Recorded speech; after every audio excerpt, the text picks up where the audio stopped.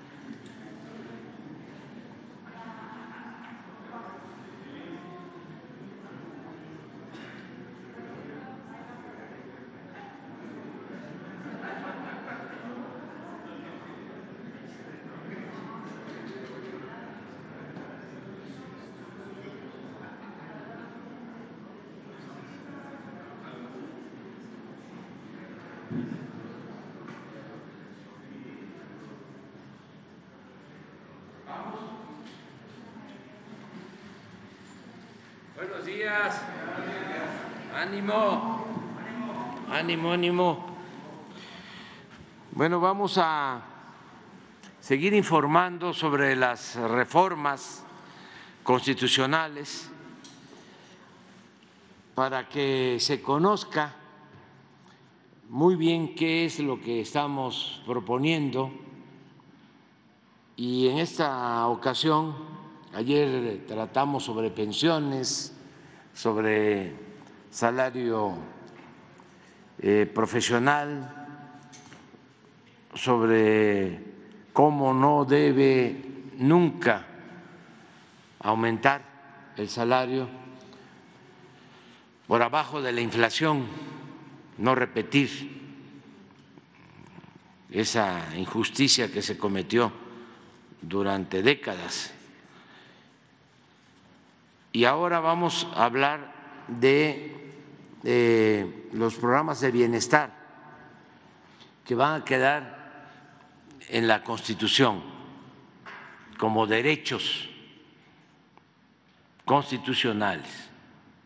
Se van a elevar estos programas a rango constitucional, de modo que esté quien esté en el gobierno, se tienen que seguir eh, financiando del presupuesto público las pensiones a adultos mayores, las pensiones a personas con discapacidad, las becas para estudiantes de familias de escasos recursos económicos y también los programas a los jóvenes, sobre todo el programa Jóvenes Construyendo el Futuro. Quien ha estado coordinando todo lo relacionado con las reformas a la Constitución que se están presentando eh, ha sido la secretaria de Gobernación, Luisa María Alcalde. Ella va a introducir y luego los responsables de cada uno de los programas que ahora van a ser derechos constitucionales van también a exponer. Entonces, adelante, secretaria. Muchas gracias, presidente. En efecto, el día de ayer eh, estuvimos hablando ya de las reformas de pensiones, de salario mínimo y también de los salarios mínimos para este, em, ciertas categorías del servicio público. Y el día de hoy toca el paquete de bienestar Vamos a tratar aquí eh, un paquete de reformas que incluyen eh, la reforma para proteger el derecho de los adultos mayores a la pensión, eh, a las personas con discapacidad, estudiantes y también el derecho que se está proponiendo en la reforma para proteger a los jóvenes que no estudian y no trabajan y tengan derecho a una capacitación. Para eso nos acompañan el día de hoy la secretaria del Bienestar, Ariadna Montiel, también el secretario del Trabajo, Marat Bolaños, y el coordinador nacional de becas, Abraham Vázquez. Con ellos hemos estado trabajando estas propuestas y la idea es que podamos conocer a mayor detalle eh, qué es lo que se está proponiendo. Hoy ya en, el marco de la Cámara de Diputados. Adelante, Ariadna.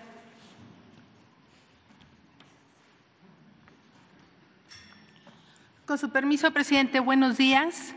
Vamos a presentar las reformas constitucionales para el bienestar del pueblo de México y vamos a iniciar con la pensión de adultos mayores. Como ustedes saben, ya es un derecho en la Constitución, solo que está establecido a los 68 años y a los 65 para la población indígena.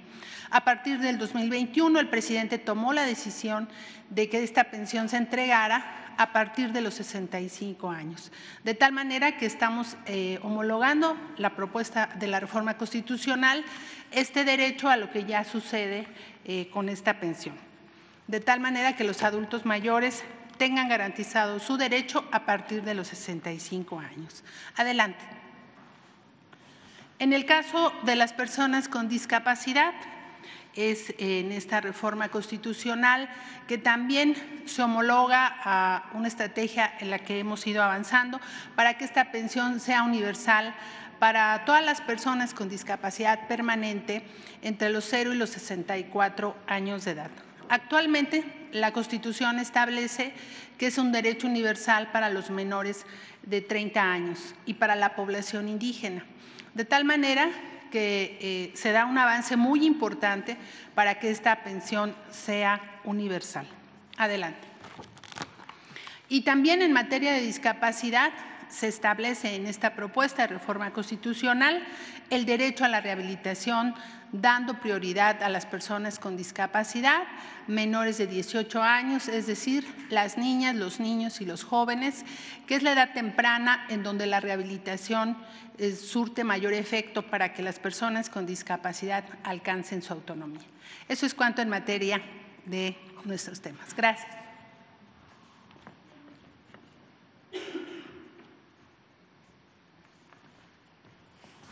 Con su permiso, presidente, muy buenos días a todas y todos. Dentro de las reformas contempladas, el artículo 123 de la Constitución se encuentra la relacionada con plasmar la garantía del Estado mexicano de continuar asegurando el derecho al trabajo de la juventud mexicana a través de un mecanismo como lo es actualmente el programa Jóvenes Construyendo el Futuro. Antes, en los gobiernos neoliberales y autoritarios del pasado, la juventud mexicana fue olvidada, fue humillada, marginada y excluida, a la cual no se le garantizaban los derechos básicos como el de la educación y el trabajo. Por el contrario, se les dio apodos como el de ninis, burlándose y caricaturizándolos, culpándolos del abandono en el que se encontraban. En 30 años, el gasto destinado a las áreas de juventud, más no que fueran invertidos directamente en las y los jóvenes, fue solamente de 6.700 millones de pesos, sin que significara una inversión que permitiera en la juventud un desarrollo y bienestar, así como su felicidad. Siguiente, por favor. Desde el inicio del primer gobierno de la transformación se tuvo claro que la juventud debía estar en el centro de las decisiones que permitieran construir un país justo y democrático para todas y para todos. Así, desde el año 2019 se comenzó con la implementación del programa Jóvenes Construyendo el Futuro, el cual ha facilitado la incorporación de ya casi tres millones de jóvenes en diversos negocios, talleres, tiendas, empresas, en donde se capacitan así para el trabajo, mientras reciben un apoyo económico equivalente a un salario mínimo, así como su incorporación en el seguro médico del IMSS. A la fecha, entre 2019 y el día de hoy, se han invertido ya 115 mil millones de pesos en la juventud de manera directa y sin intermediarios, lo cual significa 17 veces más de lo destinado en los últimos 30 años por gobiernos anteriores que le dieron la espalda a generaciones enteras. Ahora, para poder interrumpir este círculo vicioso de dejar a los jóvenes a su suerte, lo cual generaba dinámicas nocivas no solamente para ellos, sino también para sus entornos y la sociedad en general, se atienden como nunca a través de las becas educativas y también a través de programas como Jóvenes Construyendo el Futuro de Acceso al Trabajo, pues a todas y todos los jóvenes. Y en ese sentido, pues bueno, decir simplemente que como parte de los resultados de este programa, que ha demostrado ya su efectividad y alcance como política pública, seis de cada diez jóvenes que participan en el programa encuentran un empleo o actividad productiva. Siguiente, por favor. De esta manera, pues bueno, resulta imprescindible que el programa se convierta en un derecho y poder así continuar con la construcción de una generación ganada que habrá de ser justamente la generación de la transformación del presente y del futuro. Y para ello la iniciativa de reforma establece que el Estado otorgará un apoyo económico mensual equivalente al menos a un salario mínimo general vigente a los jóvenes entre 18 y 29 años que no se encuentren en, que se encuentren, perdón, en desocupación laboral y no estén cursando en alguno de los niveles educativos a fin de que se capaciten para el trabajo por un periodo de hasta 12 meses en negocios, empresas, talleres, tiendas y demás unidades económicas en términos que fije la ley. De esta manera se busca garantizar que nunca más se vuelva a olvidar de las y los jóvenes y que estos cuenten con una herramienta para ejercer sus derechos constitucionales. En el entendido de que hay un consenso de que este programa ha significado un parteaguas en la atención de la juventud y que se tiene que mantener, al igual que lo hicimos así con las otras reformas presentadas en los días anteriores, aprovecho nuevamente el espacio para hacer un respetuoso llamado a las y los legisladores en el Congreso de la Unión a respaldar y aprobar esta reforma y estar en consonancia con el mandato que se, que se dio por parte del pueblo de México de que nunca más un México sin sus jóvenes. Muchas gracias.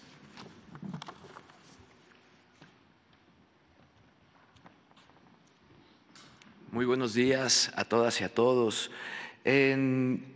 Antes del 2018 perdón, antes del 2020 con la modificación del artículo cuarto constitucional en el cual se establece la obligatoriedad para el Estado mexicano de crear un sistema de becas para atender a todas y a todos los jóvenes eh, de más escasos recursos, solamente se contemplaba antes en la Constitución la beca para estudiantes eh, indígenas en el país.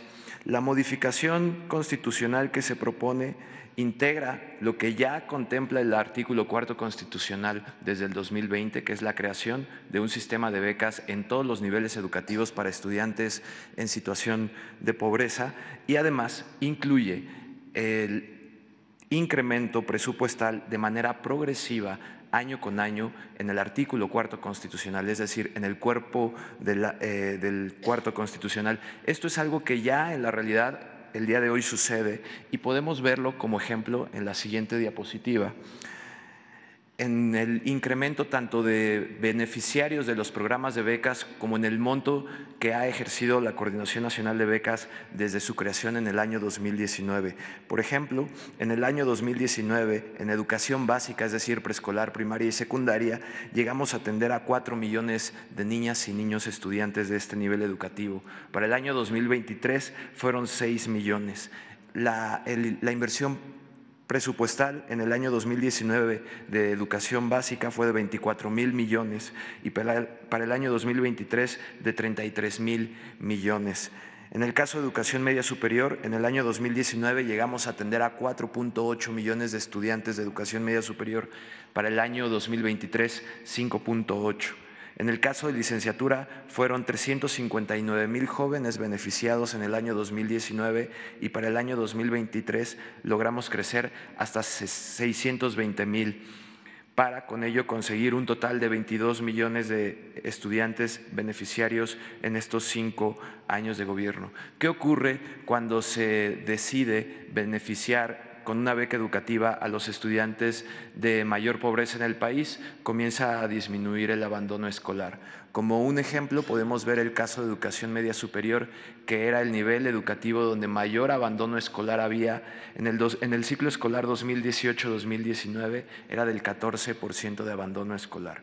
Para el año 2022-2023, poco menos del 9%.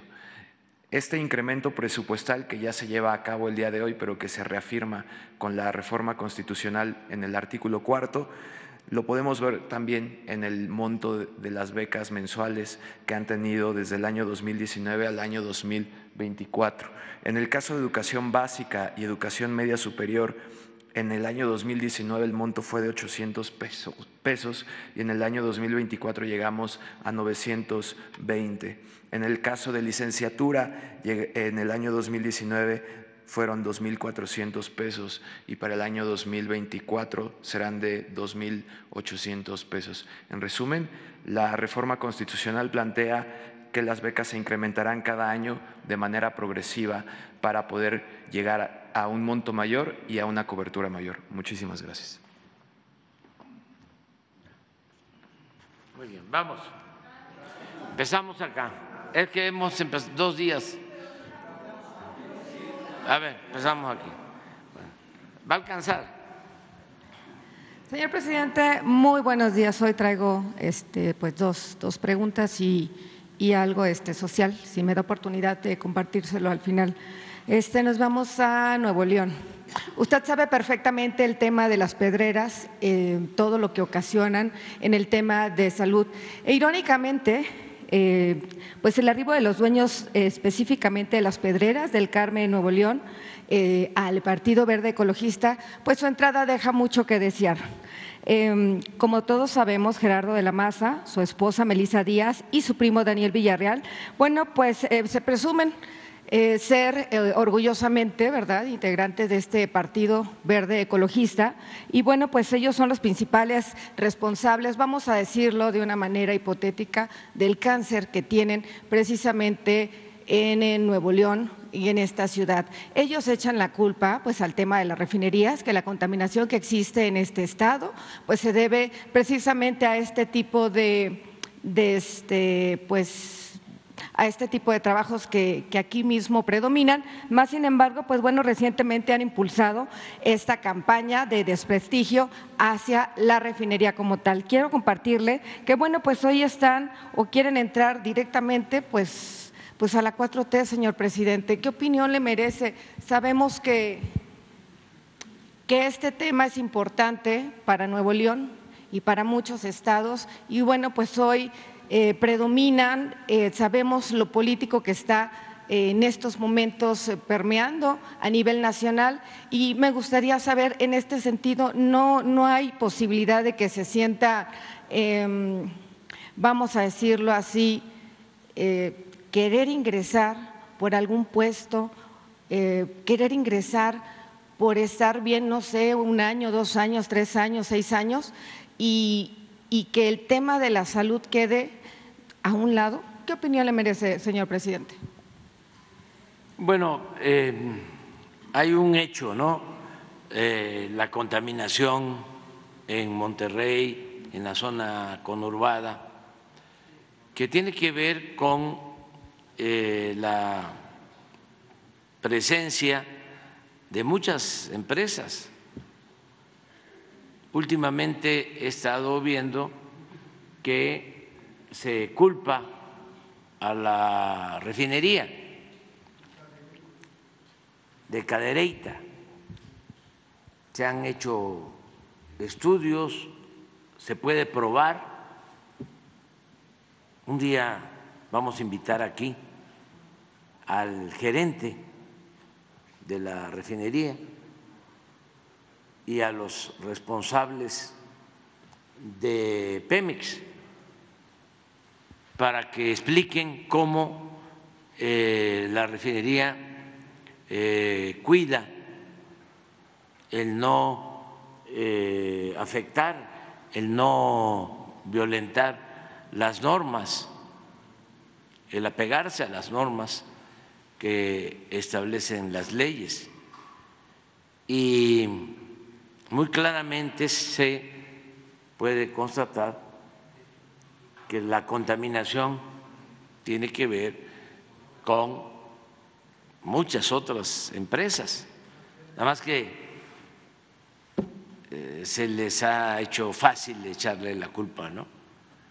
a la refinería. Por eso eh, es mejor aclarar, eh, informar y vamos a hacerlo. Y pienso que eh, poco a poco se tienen que ir eh, aplicando las normas, que no haya eh, violaciones, que no haya privilegios para ciertas empresas y que no haya corrupción, para que se cuide la salud de la gente en general, con mucha objetividad. No creo que sea, sinceramente lo digo, el momento más adecuado, porque estamos en temporada electoral. Y entonces todo se usa con propósitos políticos, electorales o politiqueros, de modo que es un asunto que hay que atenderlo, desde luego, pero eh, esperar a que se asienten las cosas, ya son cuatro meses, ¿no? Los que faltan, menos, tres meses y como veinte días, y ya, este, ahora no solo en México, en Estados Unidos, porque hay elecciones, lo mismo, ayer hubo una votación en el Congreso en Estados Unidos y se rechazó una propuesta que presentó el, el presidente Biden en materia migratoria, porque pues todo es ya eh, político electoral y quieren utilizar, cosa que no vamos a permitir, el tema migratorio como otros asuntos para sacar raja en lo electoral, los partidos.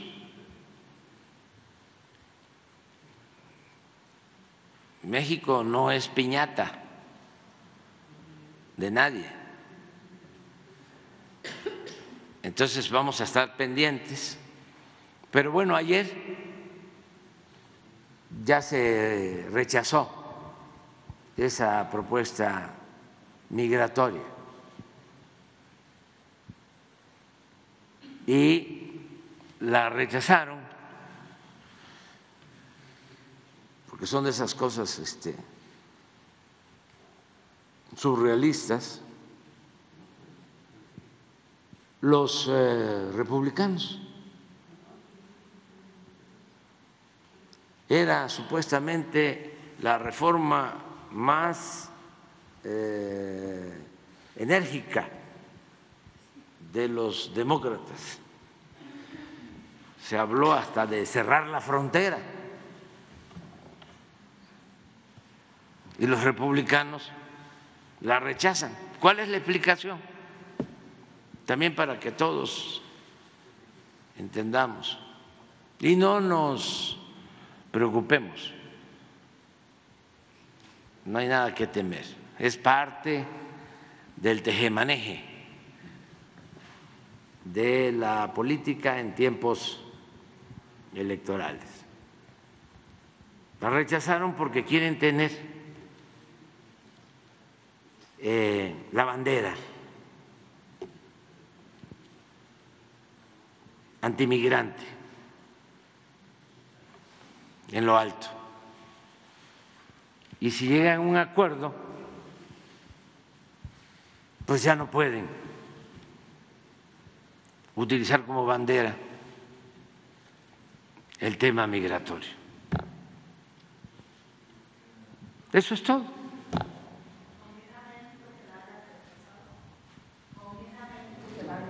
Sí, y además este lo que nosotros estamos proponiendo es que se regularice la situación de los migrantes mexicanos que llevan más de cinco años viviendo, trabajando honradamente en Estados Unidos. El partido que ofrezca eso debe tener el apoyo de los mexicanos y de los hispanos, porque no solo es regularizar la situación de los mexicanos, hay de otras nacionalidades desde hace mucho tiempo en Estados Unidos. A ver qué partido se anima, y no solo de palabra, porque ha habido ocasiones en que se comprometen a que van a regularizar a los migrantes y luego pasa la elección y ya no cumplen. Ahora tiene que ser una ceremonia. Si me invitan, yo voy. Cuando un partido se comprometa a eso. Cualquier partido que sea. Si se comprometen a regularizar a nuestros paisanos que trabajan honradamente, que aportan mucho al desarrollo de esa gran nación y que es injusto que no se les reconozcan esos derechos obtenidos y que se olvide que Estados Unidos es un país de migrantes, la grandeza de ese país desde su fundación, pues se debe a los migrantes. Ahora que estamos en campaña, se está hablando del tema, eso sería lo consecuente. Ese es un tema. Y también para resolver el problema migratorio nos hemos cansado de decirles que tienen que atender a los pueblos pobres de América Latina, del Caribe, para que la gente no se vea obligada a abandonar sus comunidades, abandonar a sus familias. Si destinan, como lo estamos proponiendo, 20 mil millones de dólares al año para el desarrollo de países de Centroamérica, del Caribe, de América Latina. Con eso se reduce considerablemente el flujo migratorio, porque la gente no abandona sus pueblos por gusto, lo hace por necesidad. Pero como si tienen dinero, el Congreso aprueba y aprueba y los partidos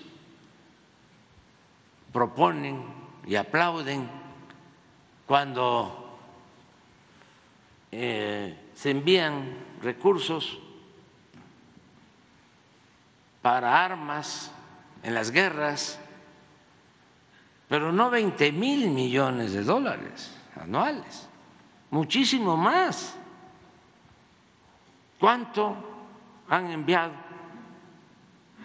para la guerra de Rusia y Ucrania? ¿Cuánto están considerando para la confrontación en Gaza.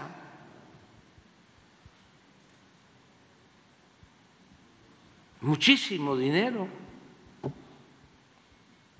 Y resulta que eso no está en la agenda electoral, pero sí los migrantes, ¿no?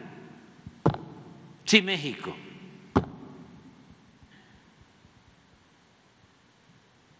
Y yo estoy seguro que los ciudadanos estadounidenses están muy conscientes de que se debe de buscar una salida de fondo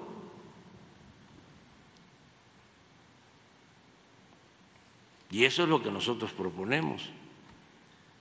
Pero bueno, regresando a México, pues ahora estamos también nosotros, porque es igual,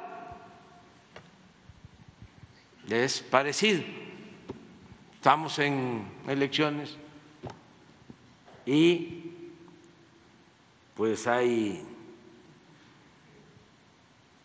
pues propuestas este, mucha demagogia, ¿no?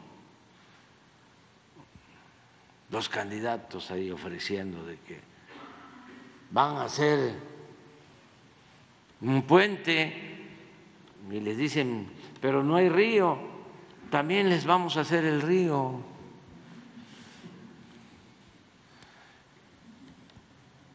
Porque pues es la temporada, así era antes, ¿no? Ahora ya no. Eh, antes empezaban a visitar las casas, lo que no hacían en épocas interelectorales. En estos tiempos empezaban las visitas a las casas y más cuando se acercaba el día de la elección, día y noche, no dejaban descansar a la gente, tocar la puerta y apuntar, hacer las listas. Te vamos a dar tu despensa, tu frijol con gorgojo, materiales de construcción. No se me va a olvidar eso porque siempre lo decía yo en los actos. Pollos, patos, chivos, borregos, puercos, cochinos, marranos todos esos ofrecimientos y mucho dinero en efectivo. Y primero era en efectivo y luego inventaron las tarjetas, las Monex. Se fueron modernizando. Pero eso ya no sirve. Este, ya no funciona en México porque la gente está muy consciente, muy politizada. Pero bueno, ya hiciste su planteamiento.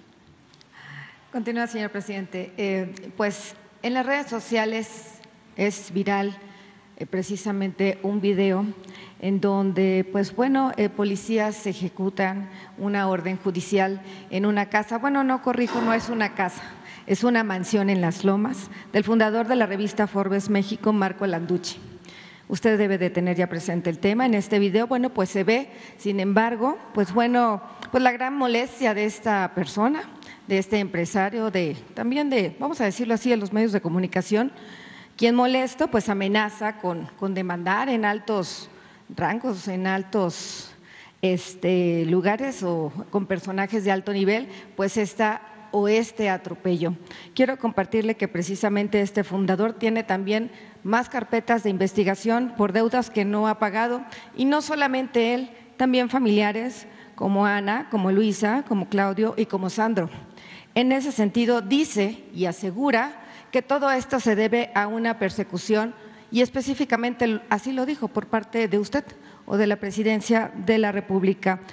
Eh, se quiere entender que ante esta denuncia de la censura, él dice así, de los medios de comunicación, pues quiere librar así estas órdenes o estas investigaciones que están pues hechas a su nombre. al nombre del señor Landucci. En ese sentido, señor presidente, ¿qué opinión le merece que ahora todo mundo es pues perseguido o se dice ser perseguido por el gobierno de la República? No tenemos nada que ver nosotros, no conozco al señor, nunca me ha hecho nada, nunca.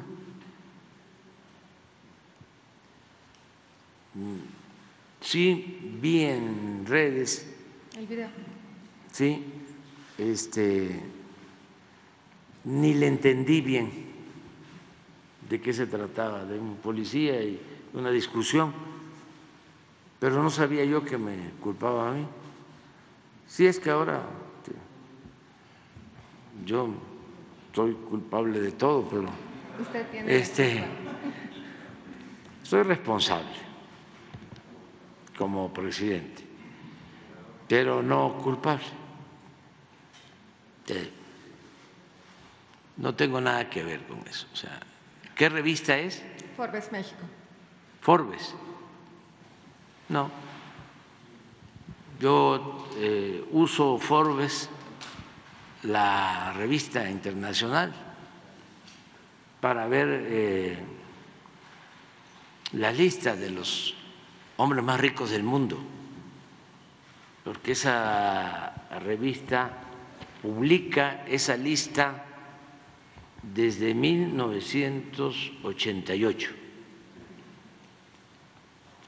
Desde el primer año me llamó la atención, porque en 1988, cuando publican por primera vez la lista de multimillonarios del mundo, solo aparecía una familia mexicana con más de mil millones de dólares, la familia Garzazada, creo que con dos mil millones, pero era la única. Entrando Salinas. Cuando termina Salinas, como repartieron y rompieron, primero rompieron y luego repartieron la piñata, este, bancos y empresas.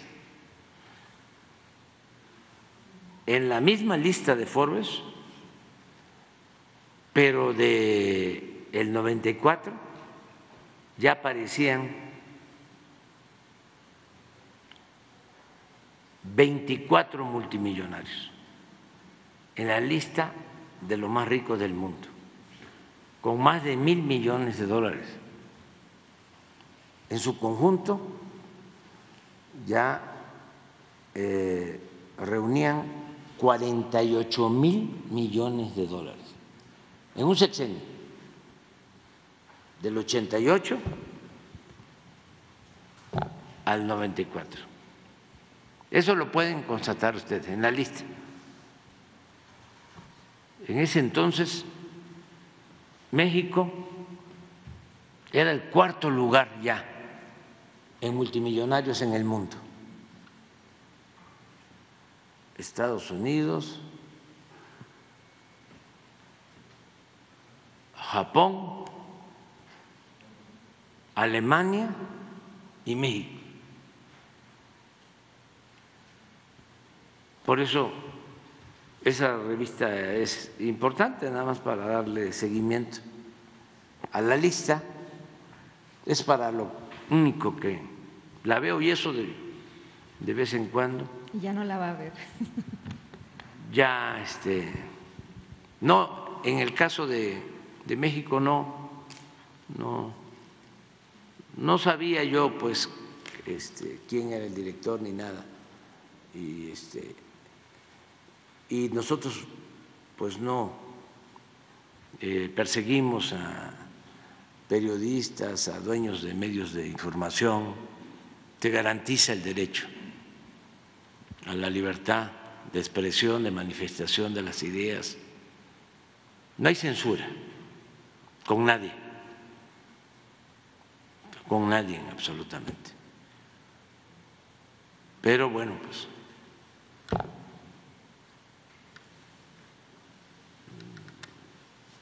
pues se, le echa la culpa al gobierno de varias cosas, pero no. Finalmente, señor presidente, y, lo tengo que hacer, este tema nos, nos llegó desde el día de ayer, ya hice el favor de, de hacer lo propio con, el vocero, pero les prometí a, a los abuelos que el día de ayer estuvieron aquí afuera de, de Palacio Nacional desde las 5 de la mañana y convencida estoy que algo se va a poder hacer. El tema humano es algo que particularmente no, pues no puedo dejar a un lado más allá de nuestro trabajo periodístico y me voy a permitir leer fragmentos de un documento que nos entregaron aquí a los compañeros también. Me llamo Guillermo Alejandro Contreras Cortés, todos me conocen como Memito, soy un bebé de un año y un mes que nació precisamente el 29 de noviembre, pero del año 2022. Eh, tiene o le diagnosticaron atrofia muscular espinal AME tipo 1 y es una enfermedad, eh, pues lo, voy a decir así porque así está fuerte, genética que daña y mata las neuronas motoras de la médula espinal y parte del cerebro que está conectado a ella, provoca atrofia y debilidad muscular progresiva, impidiendo eh, que quien lo padece no pueda gatear, caminar, sentarse y controlar los movimientos de la cabeza dependiendo el grado de esta enfermedad. Él se encuentra internado desde hace seis meses en el Hospital Siglo XXI de aquí de la Ciudad de México. Ingresó el 13 de julio del 2023. Eh, insisto, lleva seis meses internado y eh, a título del, del menor eh, ponen, soy un guerrero que aunque mi cuerpo se deteriore, mis ganas de superarme son más fuertes y se muestran porque, aunque desafortunadamente debido a, a negligencia médica, pues caí en un paro durante siete minutos, agradezco a Dios el darme la oportunidad de seguir con vida y a los doctores que hicieron las maniobras necesarias para resucitarme. He tenido COVID, he sido sometido a dos cirugías, traqueotomía y gastro, gastrostomía, Aún sigo sonriendo, mis papás y mi familia siguen luchando por mi vida. Uh, mi familia ha tocado muchas puertas. Soy de Poza Rica, Veracruz, y tengo seguridad social precisamente en el Instituto Mexicano del Seguro Social, pero a pesar de que su medicamento ya está aprobado, pues no han logrado conseguirlo o es muy caro y pues nos comparten pues algunas cuentas, este, eh, que creo, señor presidente, no van a ser necesarias, porque usted, como lo ha dicho aquí, se tiene que brindar seguridad y se tiene que brindar también atención médica a todos por igual. Ojalá se pueda hacer algo. La verdad es de que ya le compartí un, video. Los abuelos están aquí afuera desde las 5 de la mañana, hoy están aquí y esperemos que, que alguien pueda salir cuando menos, pues a dar la cara en el buen sentido de la palabra para que se pueda hacer algo por Memito. Gracias. Sería Sí, todo por, sí. de mi parte. Pues aquí está Ariane, ella va a salir a atenderlos y tienen garantizado, eh, así como su atención médica, los medicamentos, todo. Pero ahora tú lo atiendes, tú los atiendes. ¿Mm? Sí, pero si están de nuevo, a ver, ¿sí? Se les atiende. Gracias, presidente. Bueno, antes de plantearle las dos preguntas que traigo, le quiero eh, decir o pedir, ver qué, qué posibilidad hay de que hay dos temas en particular de Sonora que ya tienen ratos y que lo traigo pendientes desde el año pasado que dieron el informe, uno es del río Sonora, a ver qué posibilidad hay de que lo, lo pudieran explicar aquí las, eh, las personas de salud, los funcionarios de salud. Uno, de lo del río Sonora, eh, porque dieron un informe del medio ambiente y está pendiente lo de salud que el hospital está, sigue como elefante blanco, no se ha terminado, eh, las, las plantas potabilizadoras no se han puesto y hay 400, un estudio reciente de 400 personas con, con plomo. Entonces, eh, sí, ver si podían dar ahora un informe como el que dieron del medio ambiente, pero en la cuestión de salud, que la gente dice que sigue eh, afectada y no se ha atendido eso. Ese es uno. El otro asunto que también ver si lo puede plantear aquí la Sedena, explicarlo, es una obra que se está construyendo en Imuris, un una, una vía ferroviaria que supongo que usted ya tiene conocimiento también. Eh, mencionó el otro día las obras que tiene la Sedena y que está trabajando, pero para ver si pueden explicar esta. Hay un reportaje eh, que se hizo de, sobre esta cartera eh, porque hay inconformidad de la gente, porque no se está respetando. Para empezar, no hay manifestación de impacto ambiental. Y la Sedena eh, ha cerrado sus puertas, no ha respondido peticiones de acceso que le ha hecho en concreto Mongabay, que es el medio que lo ha sacado, que lo trabajó, y han logrado ellos conseguir algunos informes, pero no suficientes. ahorita la situación es que la gente de Imuris, entre Imus y Nogales, eh, no sabe, eh, les va a afectar, es una zona eh, que atraviesa el río, o sea, es una reserva donde hay jaguar, donde hay ocelote y que va a afectar la, esa carretera y no hay ninguna explicación. Semarnat, los funcionarios de Semarnat le dijeron a Mongabay que que ellos no tienen conocimiento de esto. El, gobernador ya aceptó que no hay manifestación de impacto ambiental y la Sedena le dijo a la gente en una reunión que no, que no, que la obra se tiene que hacer porque es orden de aquí, de usted. Entonces, eh, a ellos les dan, dice, a nosotros nos dan una orden y la tenemos que cumplir a como dé lugar.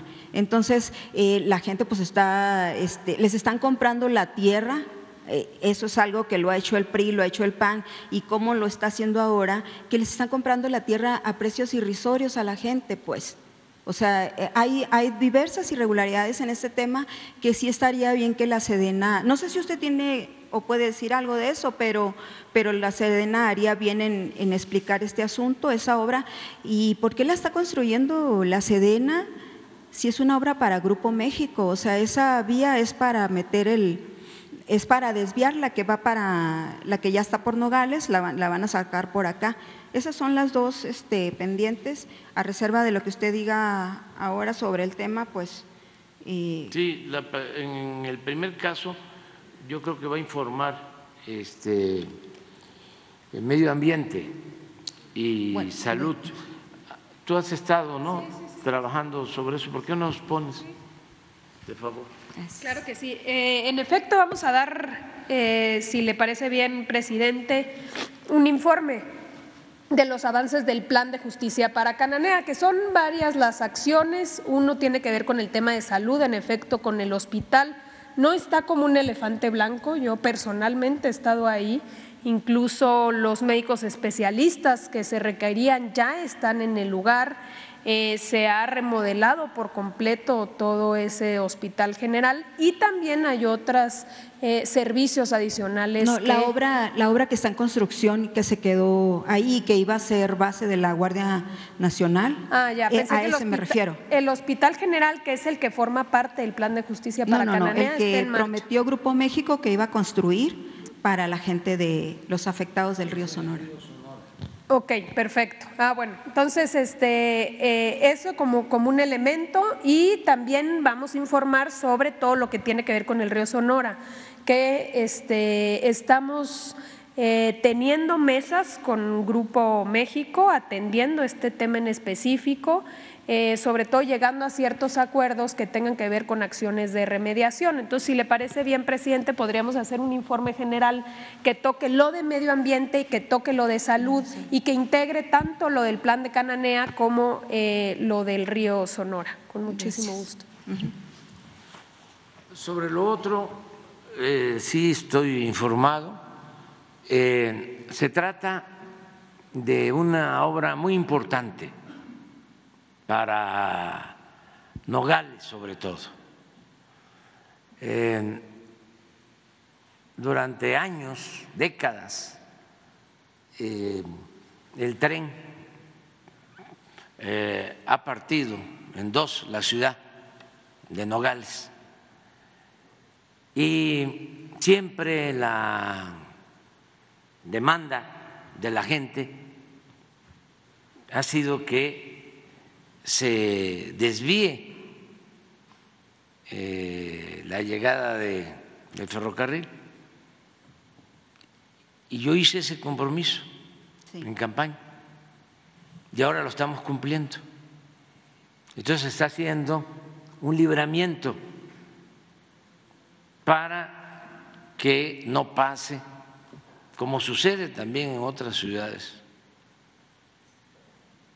que quedaron atrapadas porque creció mucho la población y pasa todavía en medio el ferrocarril de carga.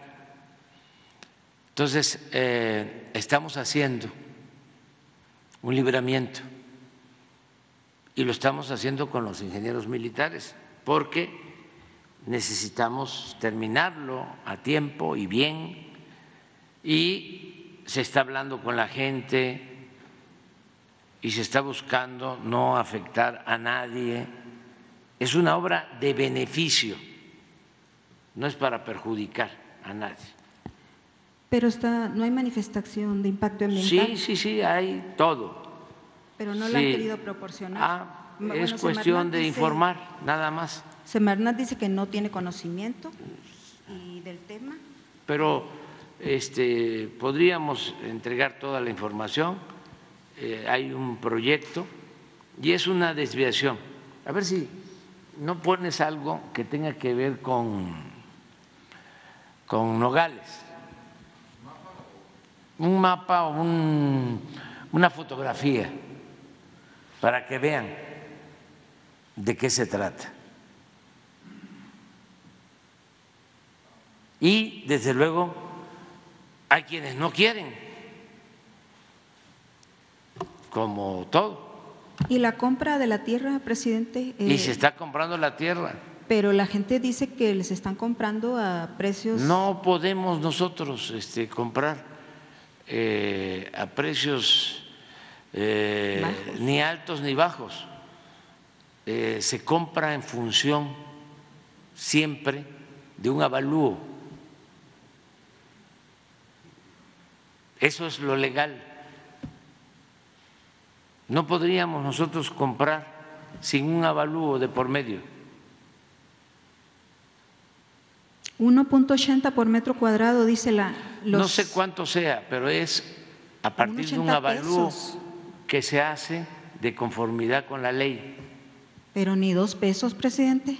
Pero yo no sé de eso. Este, Bueno, le- le comento El lo- avalúo es el que decide y ningún este, técnico, evaluador, puede este, buscar perjudicar a la gente para que el gobierno se beneficie con un peso, dos pesos, tres pesos, cinco pesos, diez pesos, cien pesos por metro cuadrado. O sea, no es así. Sí, es sí. que este a veces pues se, se malinterpretan las cosas o no hay la información suficiente. Es que eso Nosotros es- tenemos la culpa. Eso dice la gente, que nadie les informó y de la noche a la mañana ya Sí, llegaron a empezar sí, a construir. Pero yo aprovecho y me están ahora escuchando ahí en Imuris, que además este, nos queremos mucho con la gente. Siempre nos han apoyado. Y, Y vea cómo les paga, pues. no, no, no, no, no, así este, opinas tú. Este, no, no, no, no, no, no, no, no. Nosotros los hemos ayudado mucho y los vamos a seguir ayudando. Entonces van, van a poner a disposición la, la manifestación de impacto Sí, ambiental. sí, toda la información, toda la información. Pero eh, la gente este, está muy contenta Allí no tanto. en todos lados, en todos lados. Me dejo de llamar Andrés Manuel, si no es así. O va a tener que ir a Imuris y a Sonora. No, no, no, siempre voy y paso por ahí y estoy pendiente de todas las obras y sé muy bien lo que sucede. Es que algún compañero hizo un reportaje, eh, recogió algunos puntos de vista, sí, le falta información como tú sostienes, pero qué bueno que ahora estamos aclarando. ¿No tendrás las fotos? No, ¿verdad? Lo hicieron varios, pero Mongabay fue el más completo. para que se vea la línea del tren. Sí, sí. Es que el tren parte en dos. Entonces lo que queremos es una obra muy importante.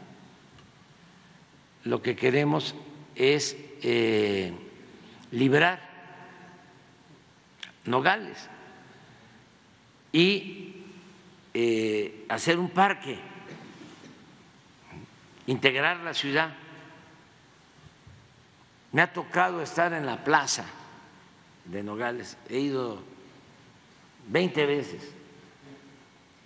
Y me ha tocado estar en la plaza, y estos los de Nogales lo saben, y pasa el tren es más, se llena la plaza o se llenaba. Ahora ya no podemos hacer este, mítines. Pero en esos tiempos, y la gente se subía a los vagones, porque por ahí en el centro, estoy hablando de la plaza principal, ahí están las vías. Y pues la gente no quiere eso, quiere tener su parque, además queremos terminar a tiempo, pues aquí está. Este,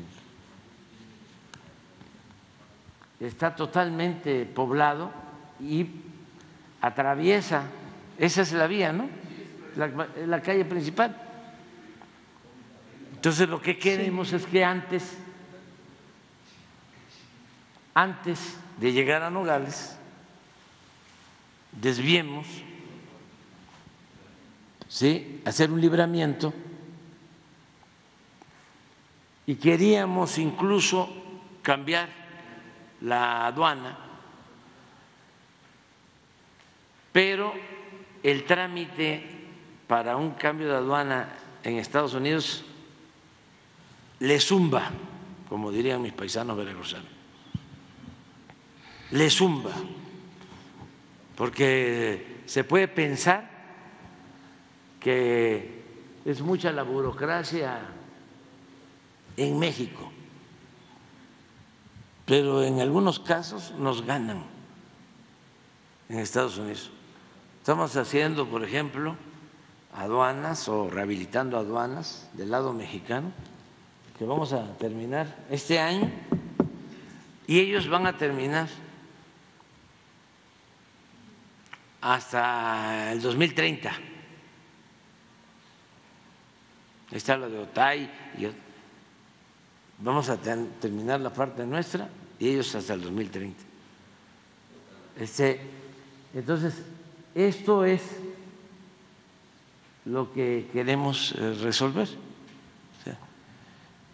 Pero esto no solo es en Nogales, o sea, en casi todas las ciudades pues antes pasaba el tren, la estación estaba en el centro, crecen las poblaciones, pues ya no puede estar la estación en el centro. Y esto es lo que estamos haciendo. Me sirve mucho tu pregunta para informar. Y un día de estos también van a venir los ingenieros militares a explicar sobre todas estas obras, ah, que son muy importantes. Pues sí. ¿Cuándo vendría Sedena para explicar este, esta obra? Pues, ¿Cuándo eh, podría venir? Sí, lo más eh, pronto que se pueda, a ver si podemos en unos 10 o 15 días, que les presenten todo lo que se está haciendo de aduanas, pasos, eh, obras. Por ejemplo, se está haciendo un segundo piso en Tijuana, se están haciendo obras en Juárez, Piedras Negras, desde luego en Nuevo Laredo, una gran obra porque ahí va a estar la sede de aduanas nacionales entonces, toda la zona fronteriza. incluye Nogales y también en San Luis Río Colorado, en toda la frontera se están haciendo este, obras del lado mexicano. Y es que se pobló muchísimo Nogales y ellos van a traer los planos cuando expongan de eh, la desviación. Ah, muy bien, gracias. Y en otro punto, la, aprovechando que están aquí los de bienestar y, de las becas, en las últimas, ¿qué será? Dos, tres semanas, eh, eh, me llegaron a mí unos reportes de gente que en Sonora, por ejemplo, estudiantes de bachillerato concretamente del CECITES, que no, no han recibido el monto de su beca. Ah, un caso, por ejemplo, que en, el 2022 no les llegó, no se les depositó y en el estado de cuenta a ellos les aparece que está depositado, pero cuando van a, querer cobrarlo ya no, no, pues no hay dinero. Entonces eh, estuvieron yendo a, continuamente a ver qué pasaba porque no se depositaba y les dijeron ya se va a depositar, ya se va a depositar. El caso que se acabó el 2022 y, y nunca se les depositó ese recurso, pero ahora les empezó a caer ya lo del 2023. Entonces, para preguntarles a ellos cuántos casos hay así, porque yo tengo dos casos y me llegó otro caso de, de Puebla, eh, donde también mm, a las familias de, otro también de Sonora, donde las familias, el, apoyo que le dan a las madres para los niños, ese tampoco lo recibieron en el 2022 y en, en, el caso particular que hay de Sonora no lo ha recibido ni el 22 ni el 23. Tiene la tarjeta, va, pero no, no hay recurso. En el caso de Puebla también y en el caso de la, por ejemplo, aquí en la Ciudad de México, no sé si ya se resolvería porque esa era una pregunta que, que iba a plantear hace 15 días. Eh, también mm, en los supers suspendieron el cobro con la tarjeta del bienestar porque no tenía recursos. Si ya se normalizó eso y también entré a ver qué había sobre este tema al tuit de, la, de Ariadna, de la secretaria, y veo que tiene muchísimas quejas de este tipo, de gente que no le han depositado el recurso. Entonces, ¿cuánto recurso por ejemplo, en el caso del 2022 no se ha entregado y por qué no se ha entregado, de, creo que son 15 millones, mencionaban, de estudiantes que, se han beneficiado. Entonces, ver, ver dónde está ese recurso, preguntarles. Sí, aquí están. Este, eh, y si ya no se va a entregar. Explica lo, de, lo de las becas y Ariana lo de. Porque eh, hace falta información. Así es. Buenos días. Eh, bueno, primero tenemos que identificar con mayor puntualidad el problema que está planteando.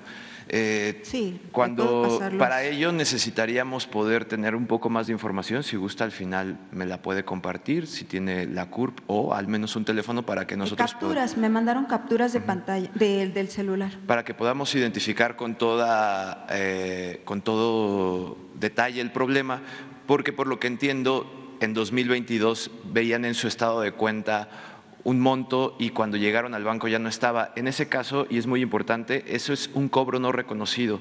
Habría que identificar qué banco es donde se le depositaba a la persona. En el caso del 2022 todavía teníamos el servicio de Banco Azteca, a partir del año 2023 solo es Banco del Bienestar ¿Qué implica? Pues en el caso de un cobro no reconocido con el Banco Azteca, pueden llevar a cabo la denuncia en el propio banco y en el caso del Banco del Bienestar pueden hacer la denuncia en el Banco del Bienestar en el número 800 900 2000 en caso de ser un cobro no reconocido. En caso de no ser un depósito hay que identificar si el beneficio el beneficiario o el posible beneficiario eh, era acreedor de la beca en ese momento, porque recordemos en el caso de educación media superior que son hasta 10 meses por año lo que se le deposita a los jóvenes, siempre y cuando estén inscritos en la escuela. Son las escuelas, hay poco más de 13 mil planteles en todo el país y todas las escuelas tienen un enlace de becas en su plantel, que son quienes se encargan de subir cada periodo de pago previo a cada periodo de pago la matrícula escolar de todos los millones de estudiantes. Si la escuela nos reporta a un alumno como no inscrito o ya llevaron a cabo, recibieron 30 pagos eh, por su estancia en el bachillerato, ya no serían acreedores de la beca. Eso es lo que conforma la universalidad. Por eso necesitaríamos… no, es el caso, pero entonces, ¿cuántos recursos se queda sin cobrar de estos que, que caen en este, en este particular?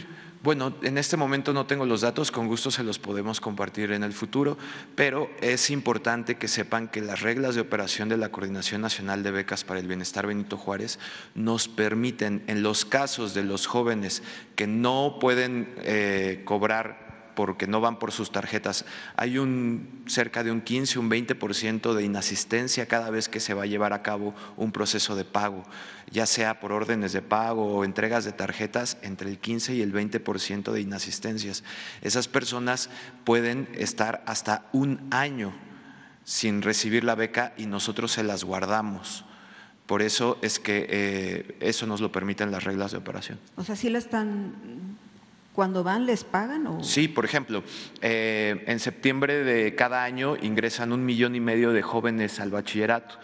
Eh, entran en septiembre, a partir de ese momento son considerados becarios porque es cuando las escuelas nos reportan que están inscritos en el nivel medio superior y las tarjetas del Banco del Bienestar las empezamos a entregar a finales de noviembre y principios de diciembre.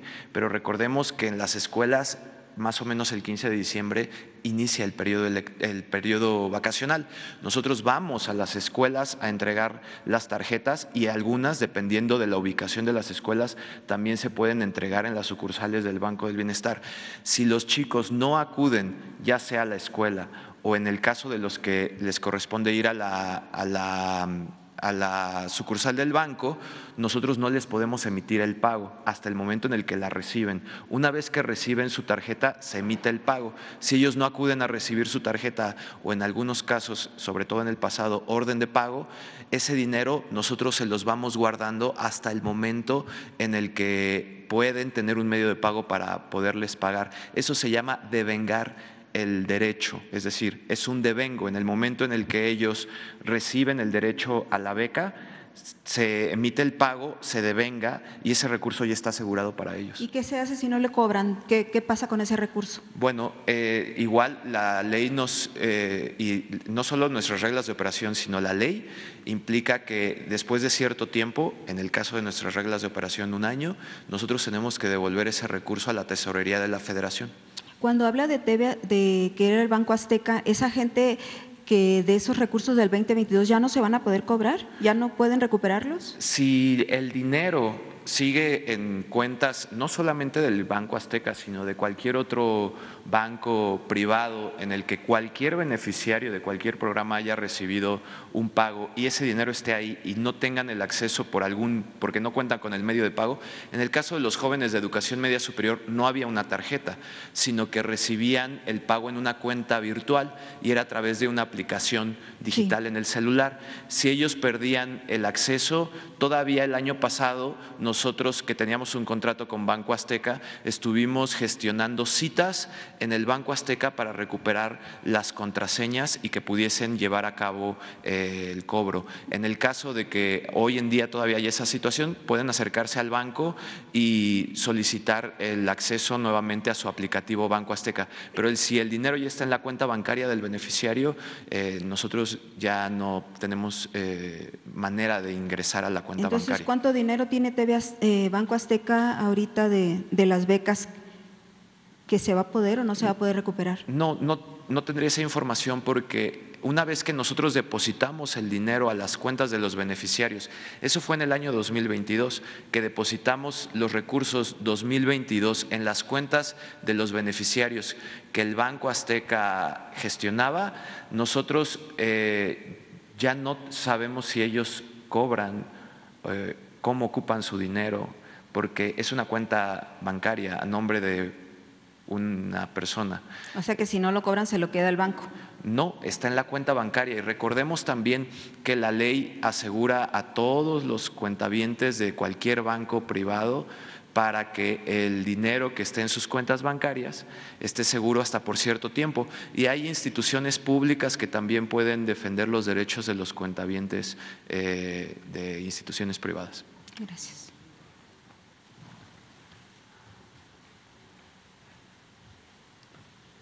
Muchas gracias. Buenos días. Eh, respecto a las pensiones de los adultos mayores y las personas con discapacidad, eh, tenemos tres procesos sucediendo que puede ser la posibilidad que se interrumpa algún pago. Primero, hicimos un cambio de tarjetas al Banco del Bienestar. Eh, antes se trabajaba con 19 bancos y hoy todos están bancarizados con el Banco del Bienestar.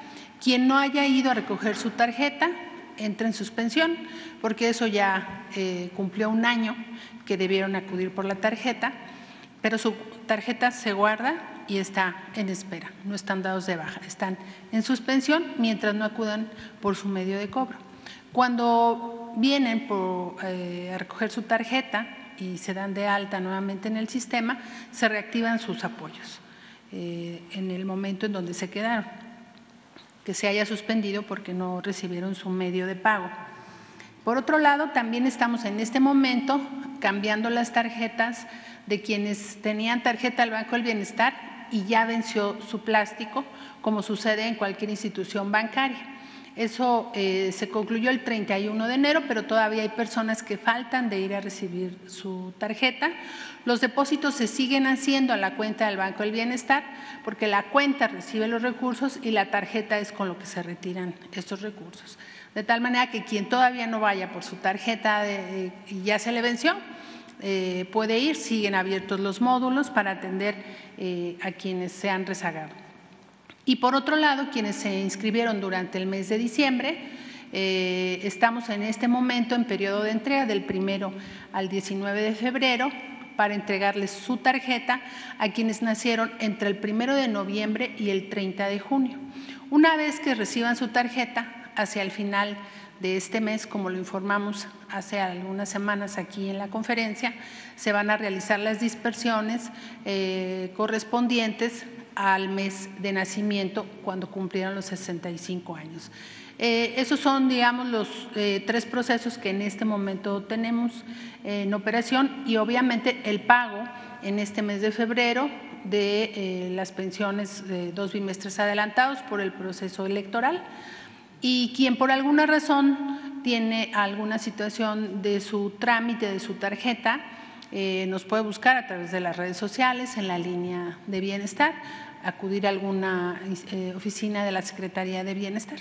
Pero si usted tiene conocimiento de eso, porque vi que, le, que varias personas le pusieron ahí que no han recibido su recurso y bueno, las quejas que tengo yo de que o, preocupaciones que tienen de gente que no ha recibido ni el apoyo para los niños ni el de los adultos mayores y en los supers eso ya se regularizó, ya se pueden aceptar todas. Eh, en el caso del tema de los supermercados tiene que ver con, con, los supermercados, no tiene que ver con la tarjeta bueno, en de bienestar. dijeron que era la tarjeta, que ellos no eran responsables. Mm, la tarjeta del Banco del Bienestar funciona como cualquier tarjeta bancaria y eh, afortunadamente ya hemos eh, avanzado muchísimo. Eh, tres bimestres tenemos sin ninguna incidencia de parte del sistema. el Banco del Bienestar. Así 15 días. seguramente es un asunto del supermercado. Nosotros no tenemos reportes del sistema del banco, por el contrario eh, ha funcionado bien. Lo que, los días que llevamos de operativo de pago, que este es un pago importante porque se están entregando dos bimestres, está funcionando bien. Lo que tiene que ver con el sistema. Eh, la red de sucursales del Banco del Bienestar, como aquí se ha informado, ha crecido de manera importante y se siguen eh, aperturando nuevas sucursales, ya entrando en operación, construidas todas de tal manera que cualquier eh, situación que tengan los derechohabientes se atiende también a través de las redes sociales, retomamos datos y, poner en el contexto que nosotros en el caso de los adultos mayores tenemos a 12.1 millones de derechohabientes que ya reciben su apoyo. Nosotros eh, tenemos un área de atención ciudadana importante en todo el país, todo nuestro esquema de atención en el territorio eh, están dispuestos para atender a las personas. Seguramente habrá algún tema, algunos de ellos, sus datos, eh, quienes tienen cinco o seis CURPS eh, y se actualiza y certifica RENAPO todo su dato, también eso se va actualizando y lo vamos resolviendo. Nuestra tarea es atender eh, beneficiario por beneficiario para que todos cumplan. ¿Cuánto recurso tienen ustedes que no se ha cobrado y, a dónde, qué fin tiene ese recurso? No funciona así. Recordar que el presupuesto tiene el principio de anualidad y los recursos que llegaran a quedar, que en el caso de los programas de bienestar que opera la Secretaría de Bienestar, no tienen ningún subejercicio, eh, pero en su caso se entera nuevamente a la Tesorería de la Federación y se informa de esta manera en la cuenta pública. Es que el, punto es que también está la duda de que, porque ya ve cómo los apoyos de bienestar se usaban para, para cubrir elecciones en año electoral, pues o sea, también existe la duda de que ese recurso hubiera una posibilidad de que se esté desviando para campañas, precampañas. Bueno, eso era en el pasado, nosotros no somos iguales. Hoy hemos establecido justamente de lo que hoy estamos hablando, es que se establezca el derecho en la Constitución para evitar todo cualquier uso clientelar, pero sobre todo que nosotros somos un proyecto de nación distinto. Y estos recursos los audita la Auditoría Superior de la Federación, hay un procedimiento presupuestal, que los recursos que queden de cualquier programa, de cualquier eh, entidad de gobierno, deberán enterarse en un tiempo establecido a la Tesorería de la Federación e informarse en la cuenta pública. ¿Y cuánto sobró en el 2022? ¿Cuánto regresaron? nosotros eh, regularmente eh, agotamos todos los recursos, hay una planificación adecuada y correcta. Eh, no tenemos subejercicios en los programas de la Secretaría de Bienestar, así que si quiere podemos hacerle una nota de la cuenta pública, que ahí es donde se ve reflejado. Gracias. Gracias. Y en otro tema, presidente, eh, voy a volver a insistir con la seguridad pública. Eh, en el caso de Sonora, ya sé que usted dice que lo están usando como cuestión electoral, pero de verdad en Sonora es una realidad la inseguridad pública. Le voy a mencionar unos casos. Son cinco menores, tres adolescentes, eh, un bebé de dos años y un, bueno, ellos fallecieron pero a heridos hay un adolescente de 16 y hay un niño Jackie de, de 9 años, que ellos, estos dos últimos heridos por balas y los otros cinco murieron. Entonces, ¿qué, ¿qué, reporte tiene usted, por ejemplo, de los jornaleros atacados en Caborca? Que ahí murieron tres adolescentes de alrededor de 15 años y, y una mujer también en, en, un bebé de dos años y dos mujeres. Eh, y en, la comunidad yaqui, eh, un, niño de ocho años, Pablo, eh, estaba dormido cuando una bala entró por su vivienda y, le, le, hirió el vaso y el intestino, le dañó y lo, llevaron al, al hospital. Él cumplió años eh, hace una semana y estuvo sedado tres días porque tratando de, pues de salvarle lo que le había dañado la, bala. Eh, el punto aquí es que el, gobernador pues se la lleva viajando, tiene una comisión electoral y se la lleva mucho aquí, y o si no se va a Europa o se va a otras partes, pero no está atendiendo Sonora y ya son muchos casos. El último, por ejemplo, ayer, Trataron de secuestrar a una niña de 14 años también, de la escuela. O sea, de verdad están pasando eh, cosas eh, terribles en Sonora y que ya no es como que antes decían los políticos que, afectan, se afectan entre ellos. No, eh, o sea, ya estoy mencionando como que ocho menores que están siendo afectados y que no tendrían por qué estar padeciendo esto, ¿no? Hay este el informe que tenga usted y luego, para colmo, la secretaria de Seguridad Pública, que ya no sé si es buena o mala noticia, renunció para irse a la campaña y con el beneplácito de, del gobernador. Entonces, eh, pues está Sonora desprotegido, presidente. Ahorita todavía no nombra a nadie y, y otra gobernadora, presidente. En Guaymas encontraron 56 cuerpos. Bueno, esta cifra la dan las madres buscadoras, bueno, los buscadores, porque el, Estado no ha querido reconocer que se encontraron cuerpos ahí ni siquiera ha querido, ya, los, ya empezaron a entregar algunos, pero ni siquiera admite que ahí en Guaymas encontraron una fosa con, alrededor de 50 cuerpos. O sea, no, no lo quieren reconocer. Yo todos los días les pregunto, ¿qué pasó? ¿Cuántos cuerpos eran? No, estamos revisando, estamos o sea, no, no quieren dar información. Y eso al final termina afectándole las estadísticas porque esos números no entran, no entran y hasta cuándo van a entrar a las estadísticas pues no van a entrar, porque ahí se la van a ir llevando eh, la fiscalía, haciendo como que hacen y no hacen nada, presidente. Entonces, pues por lo menos usted que no sé si pueda tomar eh, cartas en este asunto de Sonora, eh, ver qué información tiene sobre estos casos. Además de Tasco, tampoco han dicho nada de Tasco. Y luego, bueno, ya ves Zacatecas, que lo que ha pasado reciente, ya hasta empezaron la cuestión electoral ahí las bajas. Y ahora vi una noticia también de que hay gente que está pidiendo asilo eh, en Estados Unidos por miedo creíble, le llaman la petición, o sea, gente que tiene miedo de estar aquí justo por, lo, por la violencia. Pues este, estamos atendiendo todo lo que tiene que ver con la inseguridad, con la violencia, todos los días. Y en Sonora estamos ayudando al gobierno del Estado. Ellos están haciendo un gran esfuerzo. Yo le tengo mucho reconocimiento al gobernador Alfonso Durazo. Ya ves cómo es la, la vida, ¿no? Este, y sobre todo la vida democrática donde no todos pensamos igual, eh, hay pluralidad. Entonces tú tienes una opinión, yo tengo otra, y, los ciudadanos también, cada quien este, tiene su propio criterio. Eh, para mí es un buen gobernador, Alfonso Durazo, está haciendo muy buen trabajo y sí estamos enfrentando todos los problemas de delincuencia, lo que mencionas de Caborca, de cómo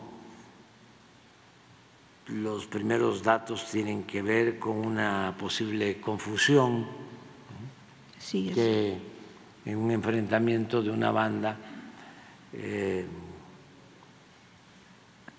eh, pensando que era otra banda y se trataba de trabajadores eh, jornaleros.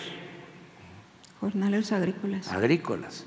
Entonces, este, y lo mismo sobre los eh, cuerpos que se encontraron, tenemos nosotros la información y la información que tenemos es que fue la Fiscalía del Estado la que encontró con las madres buscadoras de manera conjunta. Están trabajando con ese propósito. ¿Y usted sabe cuántos cuerpos encontraron? No tengo exactamente el dato, pero sí este, tiene la fiscalía toda la información. Pero no la quiere dar.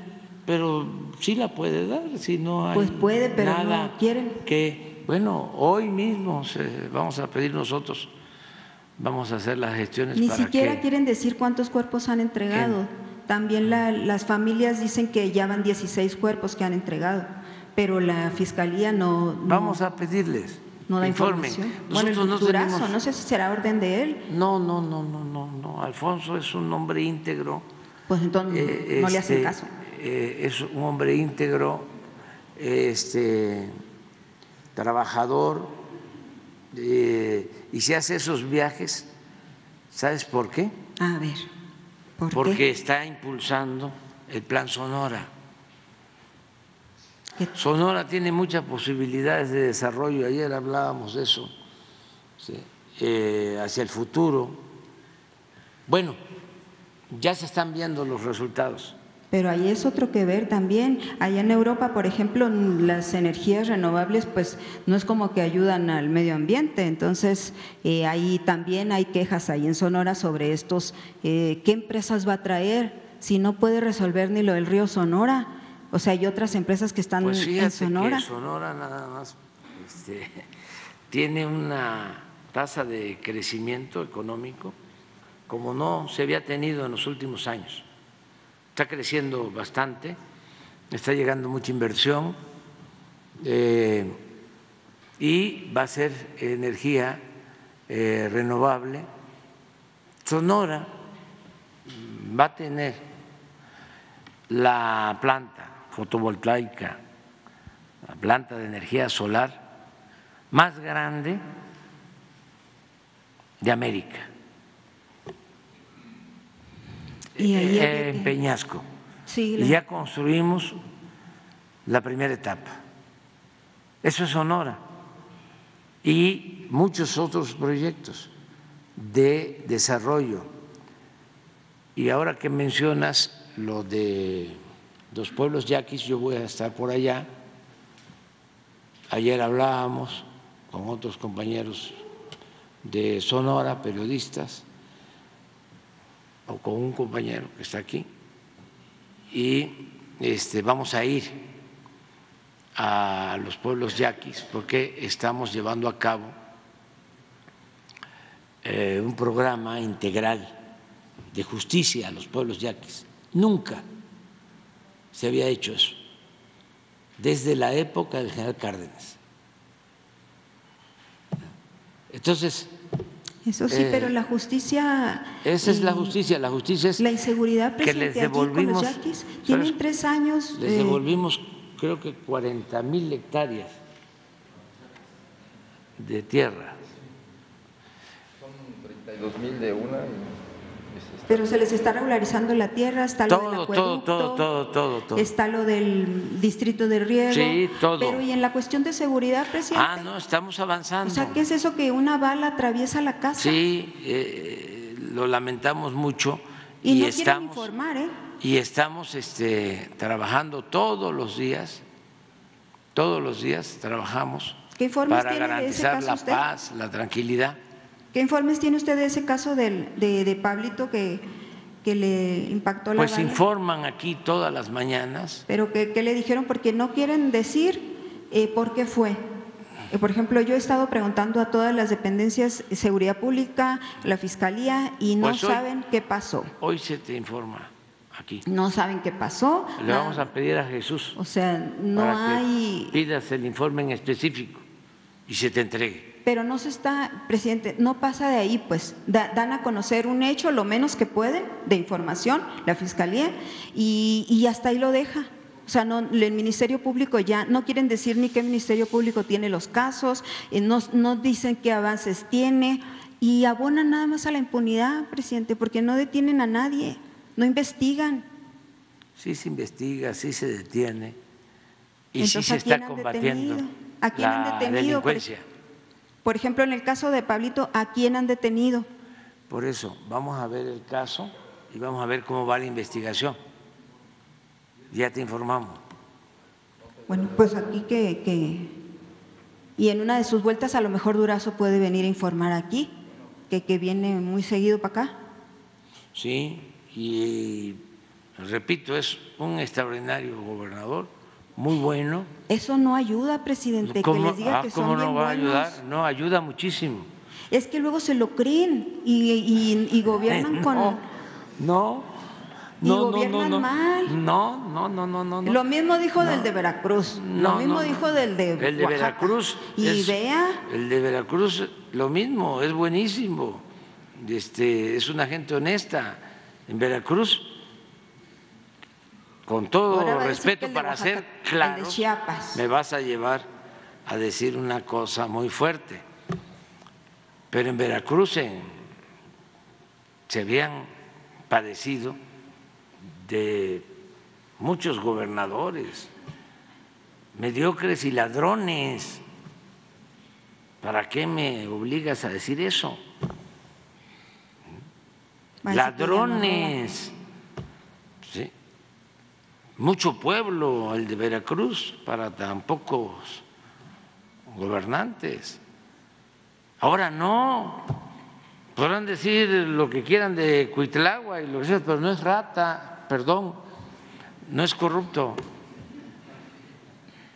Entonces, este Tampoco puede meter las manos al fuego por ellos, presidente. No, es que me consta, es que cuando o bueno, yo digo, si quieren, póngalas, eh, pero este no se vaya a gobernador, quemar.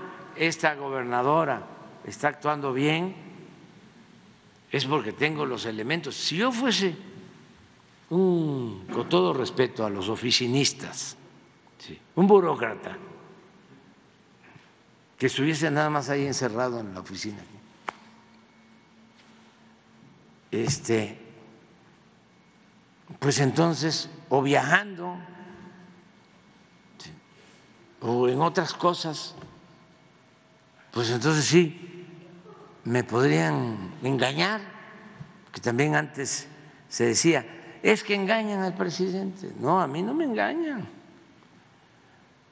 no me engañan. Y no permito que nadie este, me tome el pelo, nada más este, Alvarito, mi peluquero.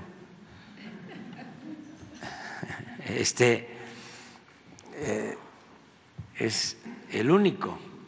Fue Eh, por Chiapas, anduvo por Chiapas, que, ¿cómo vio la situación de, de inseguridad, presidente? Sí, estuve, y fíjate que fui, porque también eso es interesante. Fui a la Concordia, donde están los grupos que se están confrontando. Eh, es en esa región a la que fui el sábado. Estuve en Rizo de Oro y en La Concordia, porque estamos haciendo dos puentes. Todo eso va a ayudar mucho, porque la delincuencia aprovecha mucho el aislamiento y sobre es. todo esa es una zona limítrofe con Guatemala. Entonces son los este, corredores. Bueno, lo de Cabor, ¿qué es eso? Es un corredor. Eh, y ahí eh, el control del paso de la droga lleva a que haya enfrentamiento de grupos. Lo mismo sucede en la frontera sur. En esa frontera no había mucho problema. Es la sierra de Chiapas. Eh, se piensa que la zona más pobre de Chiapas son los altos de Chiapas y sí hay mucha pobreza. Pero en esa sierra de Chiapas, limítrofe con Guatemala, es donde hay más pobreza. Entonces me ha tocado estar en todos los pueblos, recorrer todos los pueblos. Y no había en frontera con Malapa, en Motocintla, en Chicomocelo, no había este, violencia. Y de repente empiezan a haber grupos y confrontación y grupos con base social, porque posiblemente los ayudaban eh, entregándoles despensa, ese es el modus operandi. Eh, que les entregan apoyos y ya después es la amenaza. Entonces la gente se siente amenazada y sin protección, por eso tomamos la decisión de que hubiera más presencia de la Guardia Nacional en esa zona. Y ahora estamos allá construyendo dos puentes muy importantes que van a ayudar mucho en la comunicación. ¿Por qué no pones el plano de, de Chiapas, de esa zona, con Guatemala? Y este Y fui el sábado y me dio mucho gusto porque uno de los puentes ya va avanzado y es posible que lo inauguremos como en junio. Y el otro que nos va a llevar más tiempo lo vamos a terminar en agosto. Y eso va a permitir comunicar la frontera con Tuxtla, eh, sin que tengan que dar la vuelta por Comitán o por Huistla, todos los que viven en esas comunidades, ejidos, municipios de la sierra de Chiapas. Es una obra muy importante, bueno, las dos, y eh, estuve por allá y había un poco también la queja de los constructores de que este, los amenazaban, los de las bandas, y ya también está ya la Guardia Nacional. ¿Ya no se pelean con el pueblo? No, no, hay, este, sigue habiendo problemas, pero, eh, pero ah, súbelo un poco.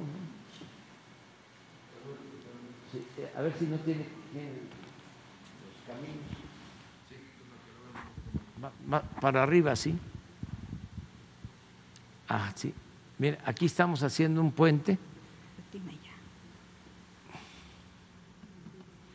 Y por aquí otro, nada más que no está, no está la brecha. A ver, a ver dónde está el Chico Muselo. Chico Muselo. Sí, por aquí. Por aquí, por aquí. Entonces estamos, se va a poder ir a Tuxtla desde aquí, toda esta frontera, que es la sierra, por un camino aquí, se va a pasar. Por aquí está Rizo de Oro, se llama. Es un puente y otro puente es allá, la Concordia, dos puentes. ¿Por qué no pones el video del sábado? El video del sábado, para que vean. Caminos para unir los pueblos para. Ah, bueno, entonces aquí es donde están los conflictos. Esta es la zona. Y aquí tenemos mucha presencia. Este y estamos pues haciendo los caminos comunicando. ¿Pero por qué se incrementó en este sexenio, presidente? ¿Mande? Hace unos cuantos años que se empezó a incrementar ahí en Chiapas. ¿Por qué en este sexenio? Hace poco. Sí, pues. Porque pues este buscan por dónde pasar. Ya aquí está este Guatemala. Este es toda el, suban el, el, plan un poquito y van a ver la, la frontera. Entonces, el tráfico de la droga, pues estamos trabajando. ¿Y cómo se está combatiendo el desplazamiento forzado de la gente? Se está atendiendo a la gente para que, para que este, eh, es, esto es lo que, lo que les estamos esto es lo ni aparece, mire. Aquí, sí. Aquí va a venir el camino. Para allá, para Tuxtla. Porque ahora toda la gente de aquí tiene para ir a Tuxtla que entrar por Comitán, por allá. San Cristóbal y Tuxtla. O por acá, por Huistra, por la costa. Y este camino es directo a Tuxtla, les va a ahorrar bastante tiempo. ¿Eh? ¿Qué, reporte tiene de cuánta gente ha salido Ah, y aquí está, miren, y aquí está la, esta es la frontera. Este es Guatemala.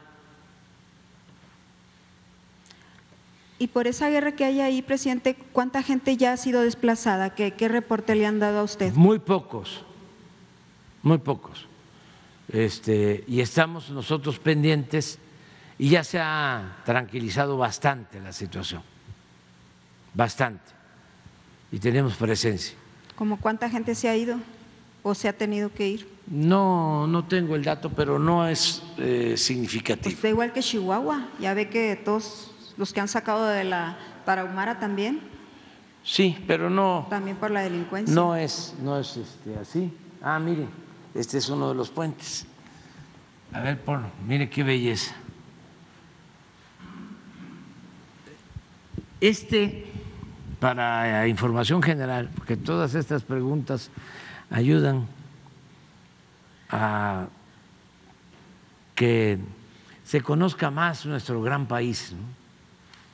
Miren, eh, este es un puente con este, unas lanzadoras, es una tecnología de ingeniería civil de avanzada, Ya es la pero es un claro de casi 300 metros. Es el puente, es el eh, tercer puente con más claro en el país que se esté construyendo. Y lo vamos a terminar en junio. A ver, ponlo otra vez. Eso que ven, a ver si se puede ahorita, se llama angostura, es el vaso de la presa de angostura. Bueno, ese embalse de esa presa es el que acumula más agua de todo el país, de todos los embalses. Creo que el segundo lugar debe ser Malpaso, ahí mismo, en el Grijalba, y el tercero debe ser el Infiernillo, en Michoacán. Pero ese eh, es el embalse, eh, estamos viendo nada más una parte, a ver si, si, si se abre un poco la, la cámara. Eh, es,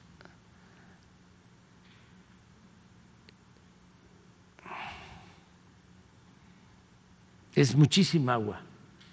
Eso, eso es del sábado.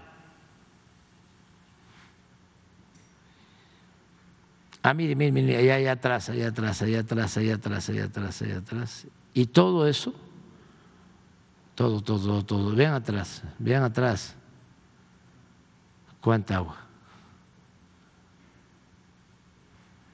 Este, Presidente, usted mencionaba que los medios con Calderón hicieron un acuerdo, que ya eso lo, lo vimos, para no decir nada. Y en la cuestión de inseguridad, ahora que, que se le quiere dar este tinte de, de electoral, que por supuesto lo van a aprovechar de los dos lados, eh, pero ¿no es mejor que los medios ahora digan todo?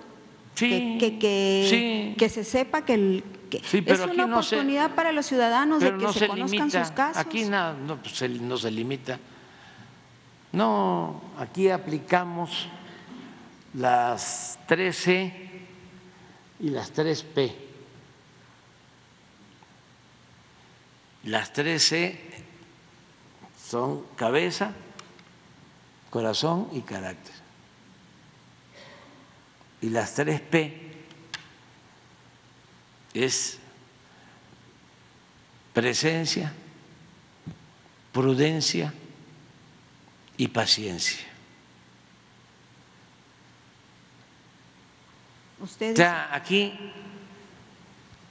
nadie se molesta, no debemos enojarnos y eh, no limitar la libertad de expresión. Eh, garantizar el derecho a disentir y razonar, argumentar. Lo que ya no se puede es hacer una denuncia sin prueba, porque pues eso eh, nos permite ejercer nuestro derecho de réplica. Entonces, cuando se lanzan este periodista famoso, ¿no? Mentiroso, calumniador, que tiene hasta dos premios este, internacionales. Este, se lanza, ¿no? Con un reportaje sin pruebas, pero además, de pura casualidad, en estos momentos, ¿no? ¿Y qué nos hizo? Lo que el viento a Juárez. Y le metieron, pero bastante, 170 millones de menciones en un mensaje que este, promovieron desde Argentina, Holanda, 170 millones, con la leyenda presidente narco, AMLO. O sea, ese, ese periodismo, Pero en México o sea, no hay- engañaba antes En México no hay, no hay presidentes encarcelados, justo porque los políticos primero hacen las leyes para ustedes, para que manejarlas a su antojo. Pues yo no he hecho leyes luego- para mí, al ¿y contrario. ¿cuál, cuál de todos los presidentes de México han estado pisados en la cárcel? Ni bueno, uno. porque se dio la oportunidad. Les cierran las investigaciones, les cierran los no, casos. No, no, Estás, este, La impunidad y todo no, eso. No, aquí Yo no hay digo que sea impunidad. el caso, pero Aquí no hay impunidad. Yo dije, y es importante aclararlo, cuando llegué desde mi discurso, que no era mi fuerte la venganza, que no iba yo a actuar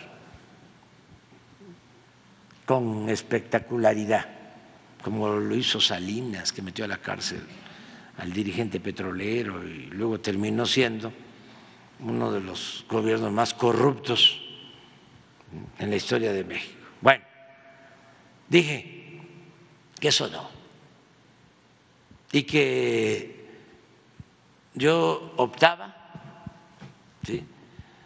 por el punto final y ver hacia adelante, porque no íbamos a perder tiempo persiguiendo a corruptos cuando estaba de por medio sacar al país del atraso y eh, llevarlo a lo que estamos ahora, este, constatando una transformación. Pero dije, además, que la justicia no solo era castigar, sino era también, y pienso que sobre todo, prevenir. Y que no era el propósito hacer un escándalo, ¿no? Ya se detuvo a un corrupto cuando lo más importante es la no repetición, que nosotros no actuáramos de la misma manera. Y eso es lo que hemos hecho. Y lo que hemos hecho, que no se hacía antes, era eh, estigmatizar la corrupción, porque antes se veía normal que el funcionario robara, hasta se les ponía de ejemplo, y ahora no. Entonces, además de decir todo eso, cuando tomé posición, dije que esa era mi postura, que no íbamos a perseguir a nadie, pero que si la gente al final de cuentas decidía que se juzgara a los expresidentes, que se podía llevar a cabo una consulta. Y se llevó a cabo una consulta, porque como todo esto se olvida, ¿no? Para preguntarle a la gente si querían que se enjuiciara desde Salinas hasta Peña.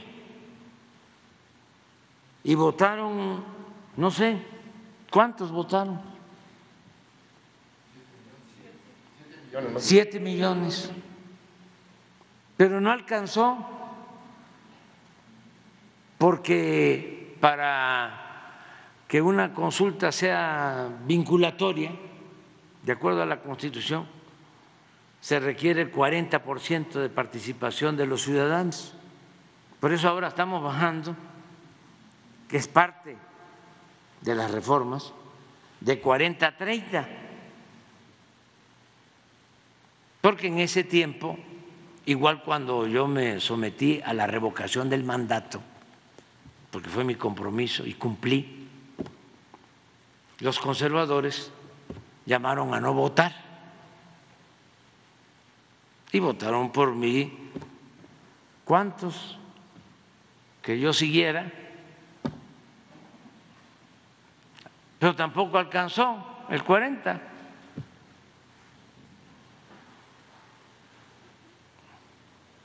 Entonces ya no son las mismas cosas.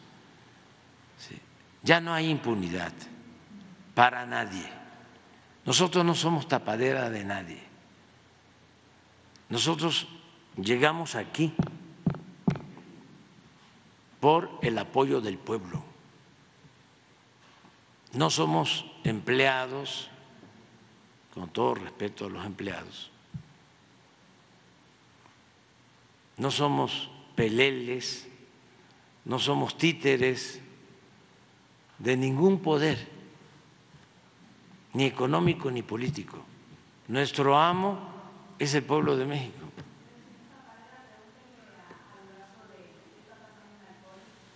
¿En dónde? ¿De qué vive la directora de alcoholes? Pregúntele a Durazo. Bueno, sí, ya hasta ya no llego ya. O sea, pero este no, ya entonces vamos a llegar a, a, lo del PAN y el PRI que hicieron un acuerdo allá en Coahuila y se repartían hasta los baños públicos y notarías y todo eso. No, hasta allá no llego. O sea, estamos hablando de este Así fue, miren. Lo de juicio de presidentes es lo de 7 millones y la consulta de revocación, fue la consulta. 16.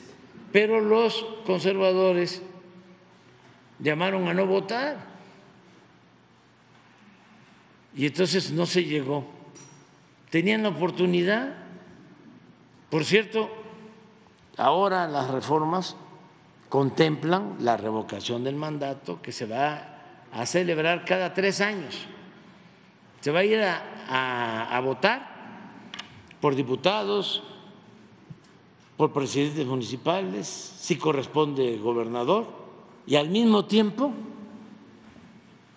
se le va a preguntar también a la gente, ¿quieres que siga la presidenta o el presidente o que renuncie? Eso es la democracia participativa. Todos esos cambios son los que se están llevando a cabo.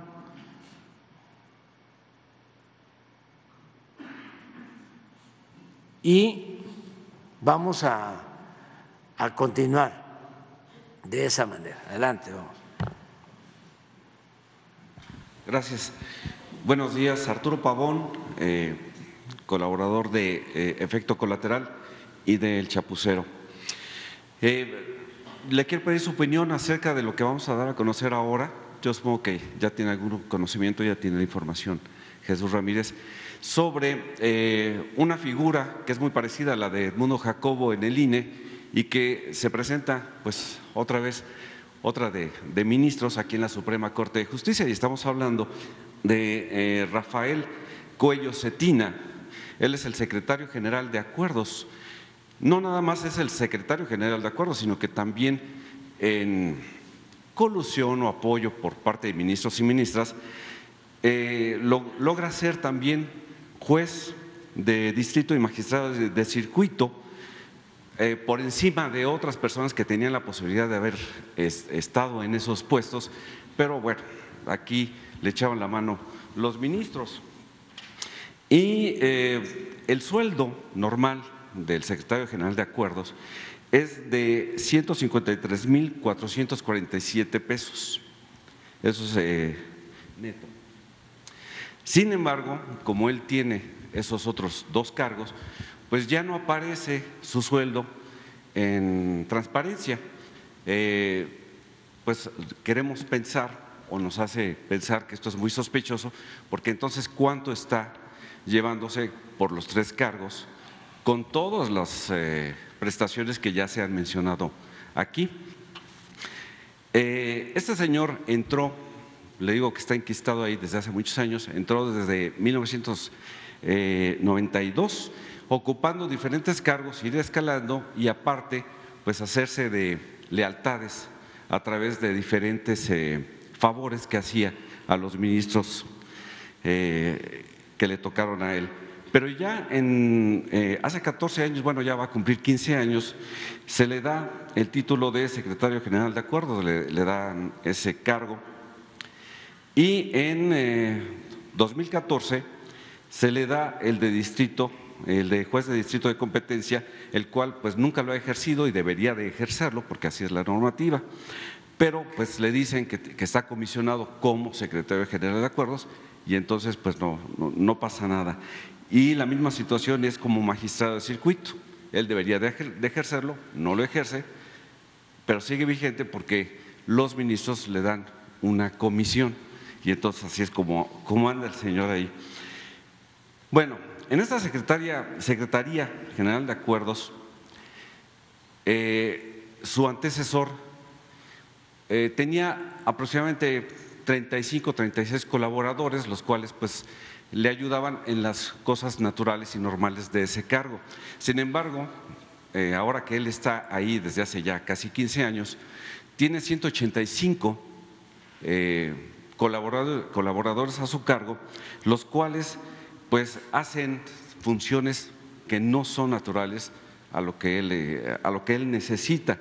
Estamos hablando que de 35 del anterior secretario, ahora son 185 en su plantilla laboral se tienen identificados diversos casos de nepotismo, de amiguismo, eh, y ahorita los vamos a mencionar, pero estos, estos casos, de esos 185 ya se tienen identificados 43, que tienen sueldos desde los 40 mil pesos hasta los 119 mil pesos, igual con todas las prestaciones que, les, eh, que se han hecho acreedores ahí.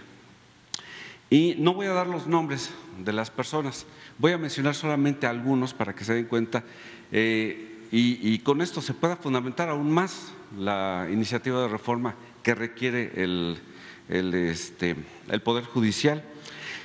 Eh, aquí tenemos todos los datos con los nombres, los datos los tiene eh, Jesús Ramírez. Y, por ejemplo, aquí tenemos un secretario de estudio y cuenta de ponencia, son nombres rimbombantes para puestos que fueron inventados con un sueldo de 119.505 pesos, pero es amigo del secretario general de acuerdos. Tenemos a la dictaminadora 1F con un sueldo de 83.301 pesos y es hija de un exministro, que tampoco voy a mencionar qué ministro, para qué, pero aquí está el dato. Tenemos también, por ejemplo, a la secretaria auxiliar de acuerdos A, pero en realidad ejerce el, eh, pues hace funciones de secretaria particular, no auxiliar, y tiene un sueldo de 62.723 pesos. Yo creo que hace muy bien su trabajo porque pues tiene gran, eh, un gran favor porque su esposo pues también está ahí, es el director de área A, fíjese nada más, del Centro de Monitoreo de Sistema Electrónico de la Suprema Corte de Justicia de la Nación. ¿Qué será eso? ¿Quién sabe? Pero eh, pues los esposos están ahí, tienen un sueldo entre los dos Imagínense, ella 62.700 y él 77.175 pesos. Tenemos casos de hermanos que ejercen, pues supuestamente como de choferes, pero realmente son mandaderos que hacen funciones de orejas, obviamente porque andan cuidando las espaldas del secretario general de acuerdos. Tenemos también, por ejemplo, aquí que está recomendado, dictaminadora 1F también, por recomendación de un ministro en retiro, José Ramón Cosío, otra de José Ramón Cosío. Tenemos al secretario de Estudio y Cuenta, con un sueldo de 119, que es amigo de la infancia del secretario general de Acuerdos. Y así nos vamos con toda la lista, aquí las tenemos. Y estos sueldos son netos mensuales actualizados al 14 de julio del 23, de acuerdo a la información que se logró tener en el portal de la Suprema Corte. Pero así las cosas en la Suprema y esto que sirva precisamente para fundamentar y no decir que nada más es por los jueces o que sean este, votados. Tenemos que, tenemos que hacer un cambio en ese sentido y espero que esta información también sirva para, ese efecto. Y también mm, tenemos, es, la segunda, ¿cuál sería su opinión, digamos, de esto de la Suprema Corte? Bueno, que eh, coincido contigo. Eh, el Poder Judicial eh, se le entregó a el Partido Acción Nacional.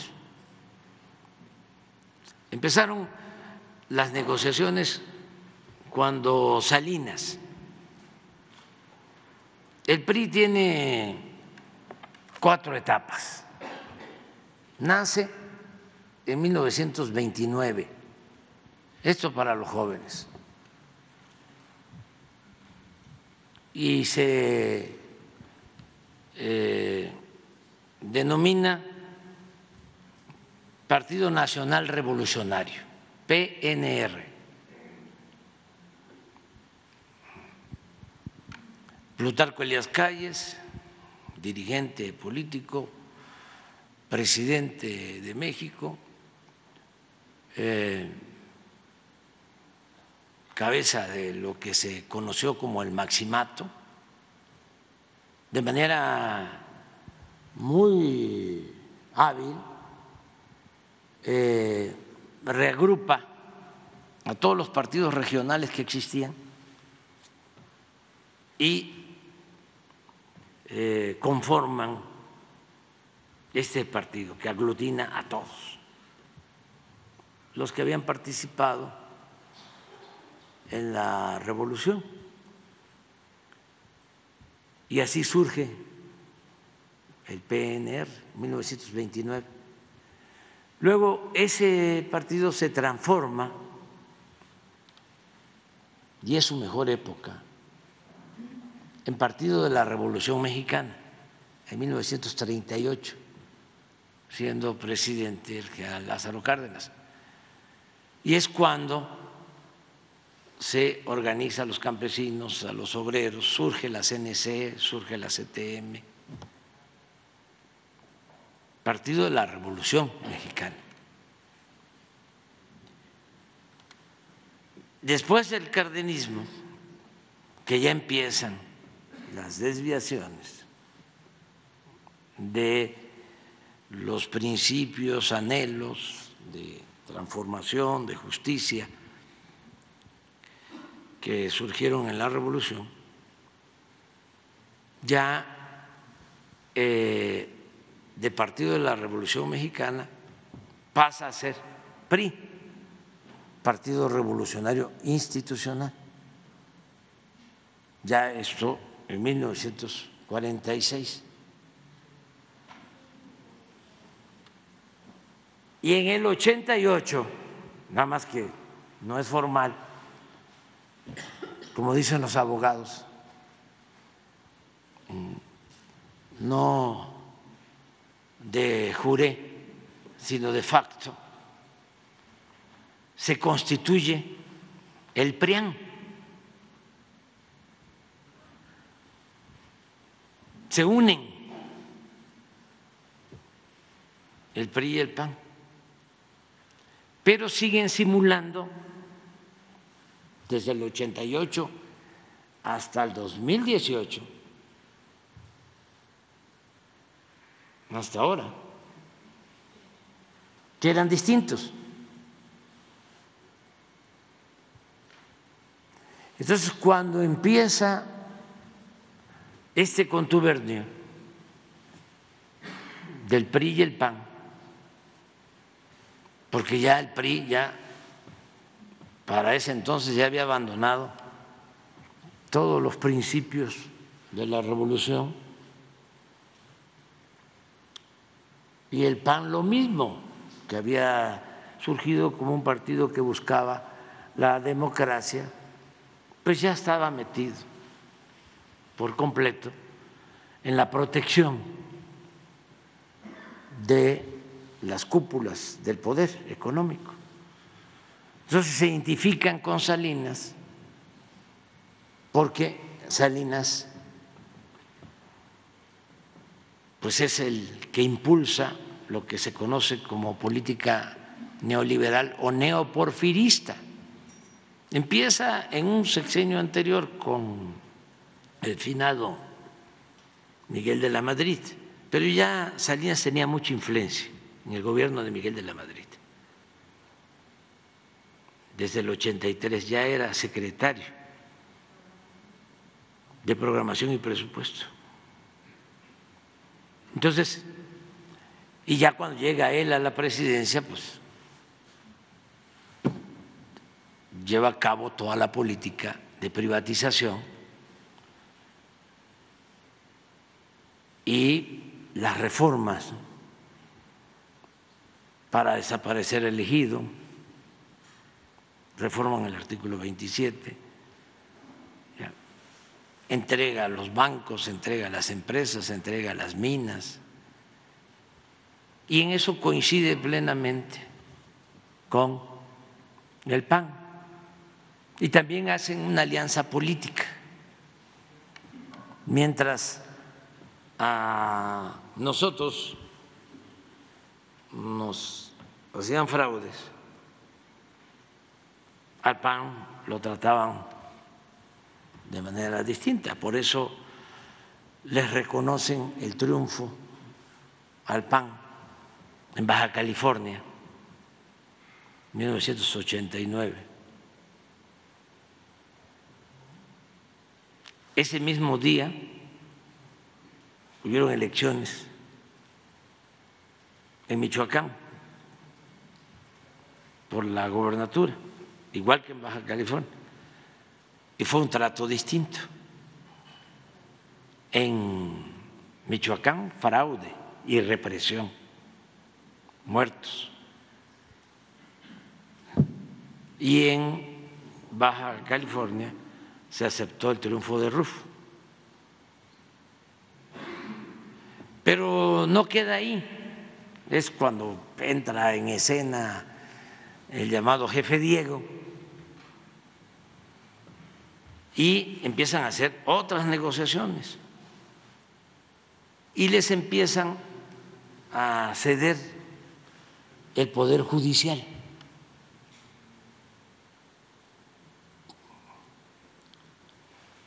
Al, al PAN, al grado que en el siguiente sexenio, con Cedillo, ya les entregan al PAN la Procuraduría General de la República.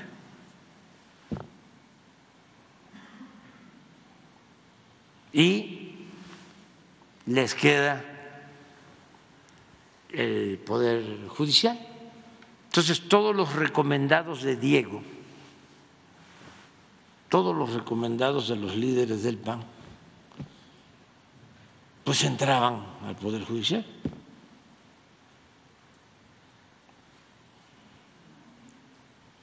Más pues otros recomendados de grupos de intereses creados. Entonces, el Poder Judicial se convirtió en un poder al servicio, como estaba también el Ejecutivo. Lo mismo,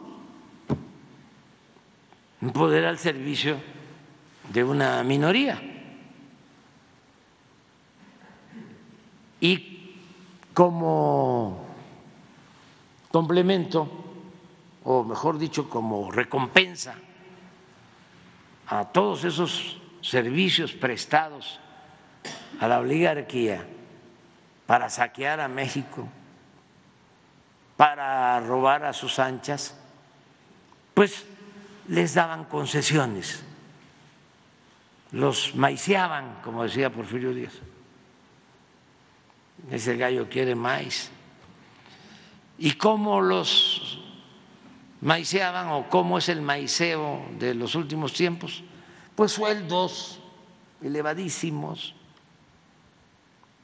Por eso, 700 mil pesos mensuales para un ministro. Claro que sí. Hablamos de maiceo, pues no le llega un ministro a Lore de Mola, que gana dos millones de pesos mensuales.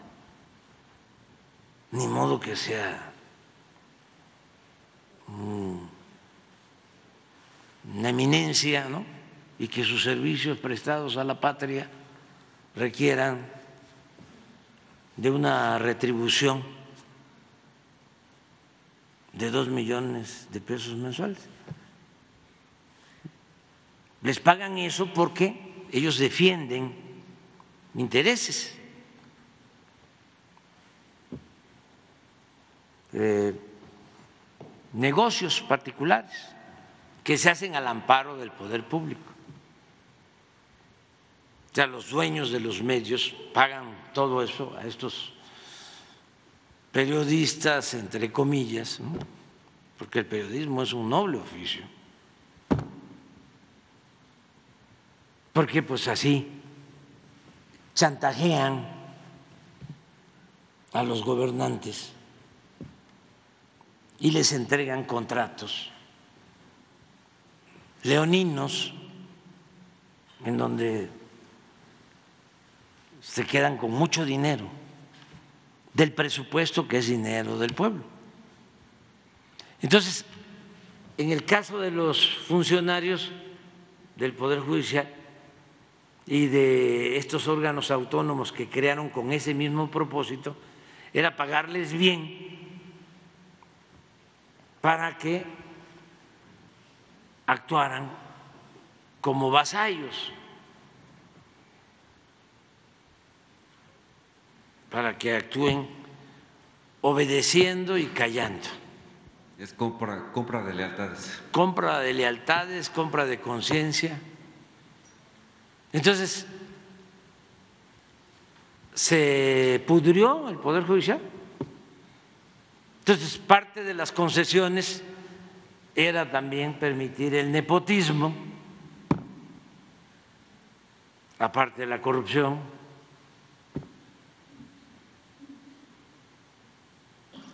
Entonces, ¿cómo mejoramos eso? Ah, porque olvídense de el nepotismo y de que están los esposos y que están los hijos y los primos, cuñadas, cuñados. No. Bueno, aceptando sin conceder, como dirían los mismos abogados. El problema es de fondo que se agarra a un delincuente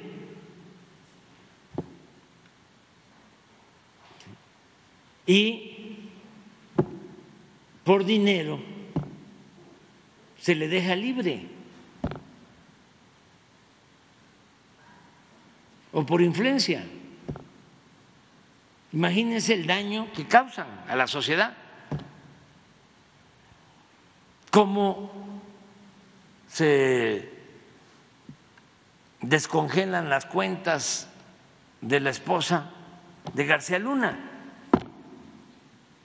Ahora mismo, esto que acaba de hacer un juez presenta la Fiscalía eh, una denuncia contra el presunto segundo tirador en el asesinato de Colosio y el juez niega la orden de aprehensión.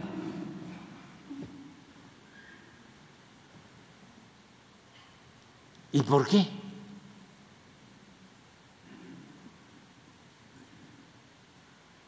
¿Qué hay detrás? Más bien por cuánto. Sí, pero este, es una red de complicidades, de componendas. Y así muchas cosas. Esto de que dos ministros cancelan la ley eléctrica, una ley que beneficia al pueblo, pero que no le conviene a las empresas particulares. Entonces esos ministros a quienes representan al pueblo, eh, a la justicia o a empresas particulares y a los intereses económicos.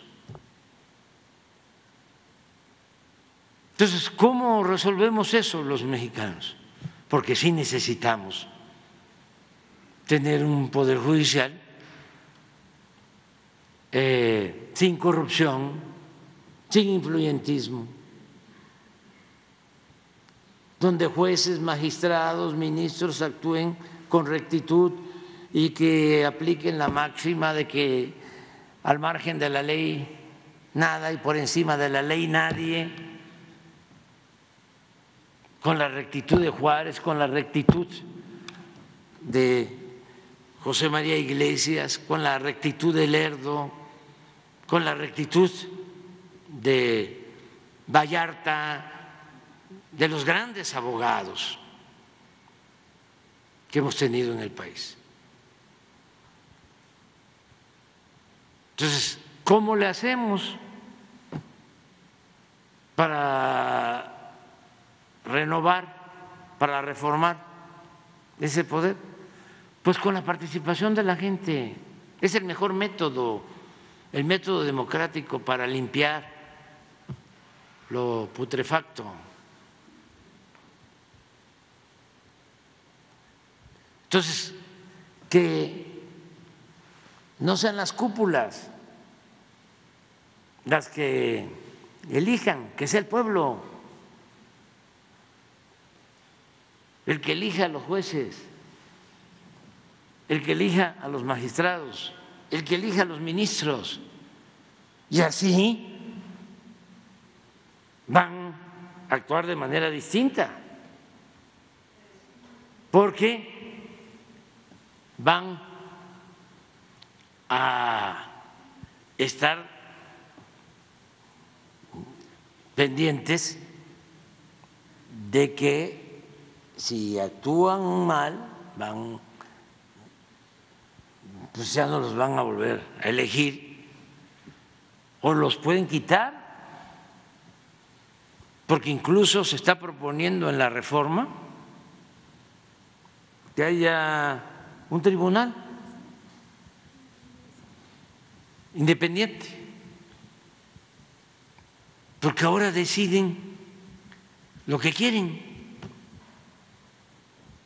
Es más, antes ni siquiera se conocían los nombres de los jueces, de los magistrados, de los ministros.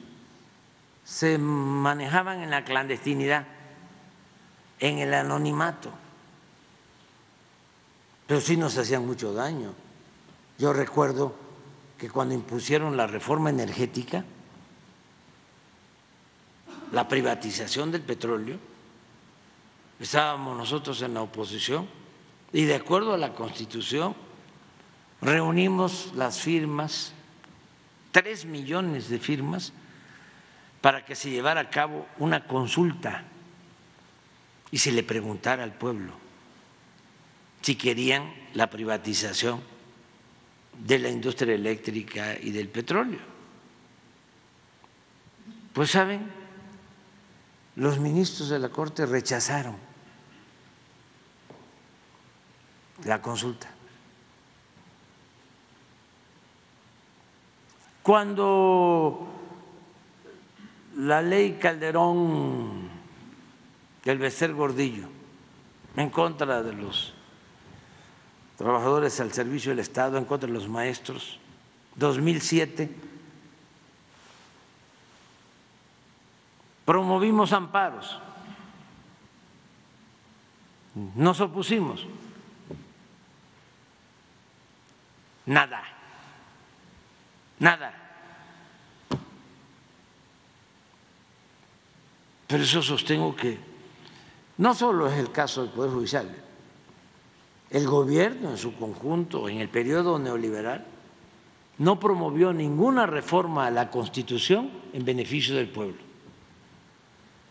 Ni una sola. No hay una sola prueba que en 36 años se haya llevado a cabo una reforma a la Constitución para beneficio del pueblo. Al contrario, todas las reformas que hicieron fue para perjudicar al pueblo y favorecer a una minoría rapaz. Entonces, por eso sí hace falta la reforma al Poder Judicial. Claro que no les gusta,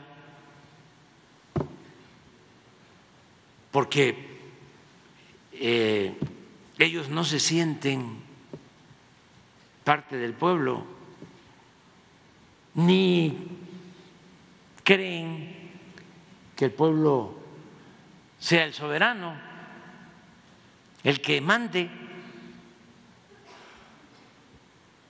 Si alguna vez han pensado en eso, ha sido porque lo han tenido que decir en un discurso, pero no porque le tengan obediencia al pueblo, no porque estén pensando en mandar obedeciendo al pueblo, no, es una élite totalmente divorciada del pueblo. Por eso se requiere la reforma. Y afortunadamente va a decidir el pueblo en la elección.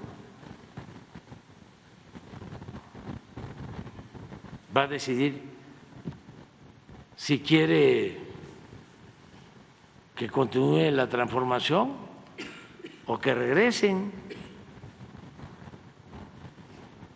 los de antes, los de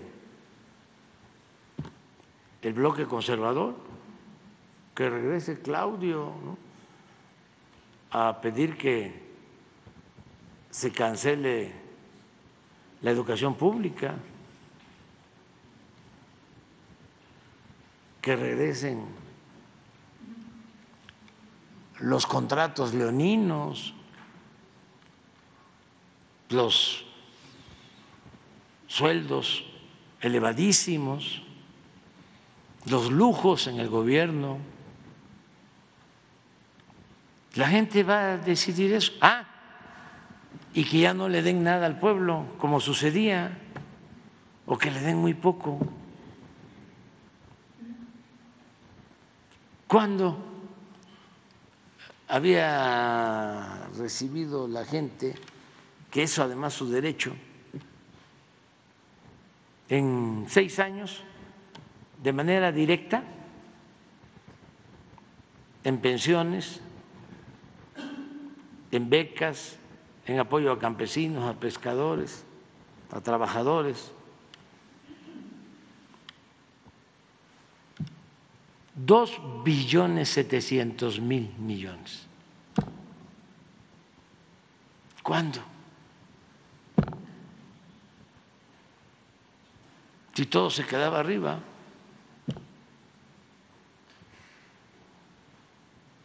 Por eso se jalan los pelos y dice, ¿qué está pasando?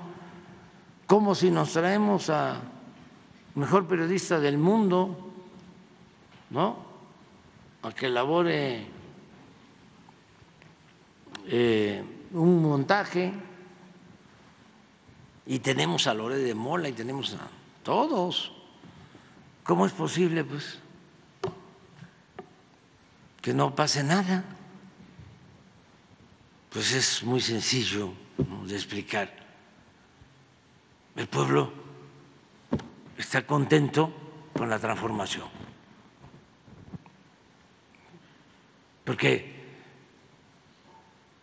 son cosas interesantes ¿no? en el análisis. Una, lo que significa la democracia para un pobre y lo que significa la democracia para una persona de clase media o de clase alta. Es distinto. Tiene una connotación distinta, porque la democracia auténtica, verdadera para el pobre es su sobrevivencia, es la posibilidad de ser atendido, ayudado, auxiliado. Para un integrante de clase media, pues es distinto, puede ser porque va a haber un gobierno más eficiente, este, que se va a hacer cargo de la seguridad.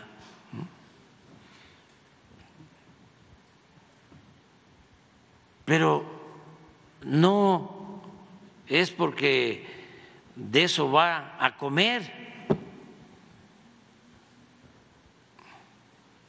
Entonces, la democracia para el pobre es fundamental, es básica. Ese es un asunto de fondo, de fondo para la, para la, la reflexión. Y lo otro que también es de fondo, imagínense, en un país donde imperaba la corrupción principal problema de México era la corrupción. Imperaba la corrupción. Todos, de una u otra forma, lo sabían, al grado de que los más corruptos, los de arriba, querían que se aceptara como algo normal. Como decía don Jesús Silva Gerso, el grande, decía que los funcionarios y algunos hombres de negocios, traficantes de influencia, hacían sus fortunas de la noche a la mañana, en un abrir y cerrar de ojos, y decía, y ni siquiera pierden su respetabilidad. Y agregaba, y ese es el peor de los males, porque se veía normal. Entonces todo el mundo sabía, no todos en México, y eso es una cosa que debemos de tener muy presente, nuestro pueblo es honesto. La mayor riqueza de México es la honestidad de su pueblo. Y eso tiene que ver con nuestras culturas. Cuando llegaron los europeos, los indígenas se quedaban sorprendidos por la forma en que ambicionaban el oro. La avaricia no existía en nuestro pueblo. Pero bueno, se quiere establecer como forma de vida la corrupción, la gente resiste, resiste, resiste, resiste. Y ahora resulta que se combate la corrupción y por eh, consecuencia eh, por ese acto, por esa decisión, empiezan a recibir lo que antes no les llegaba.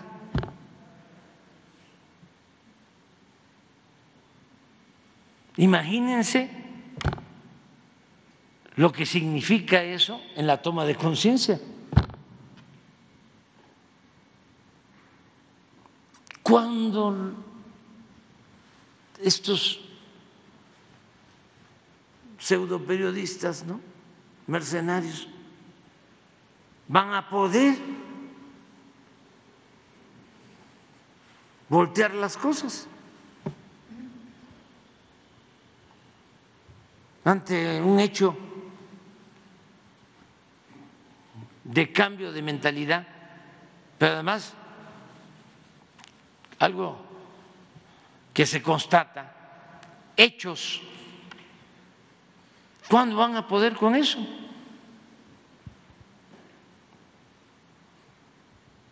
Pero está muy difícil que lo entiendan. Porque imagínense una gente que se formó clasista, que se formó racista,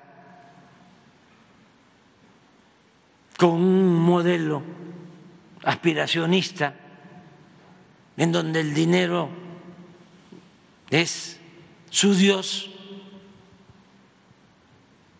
¿cómo lo vamos a hacer cambiar?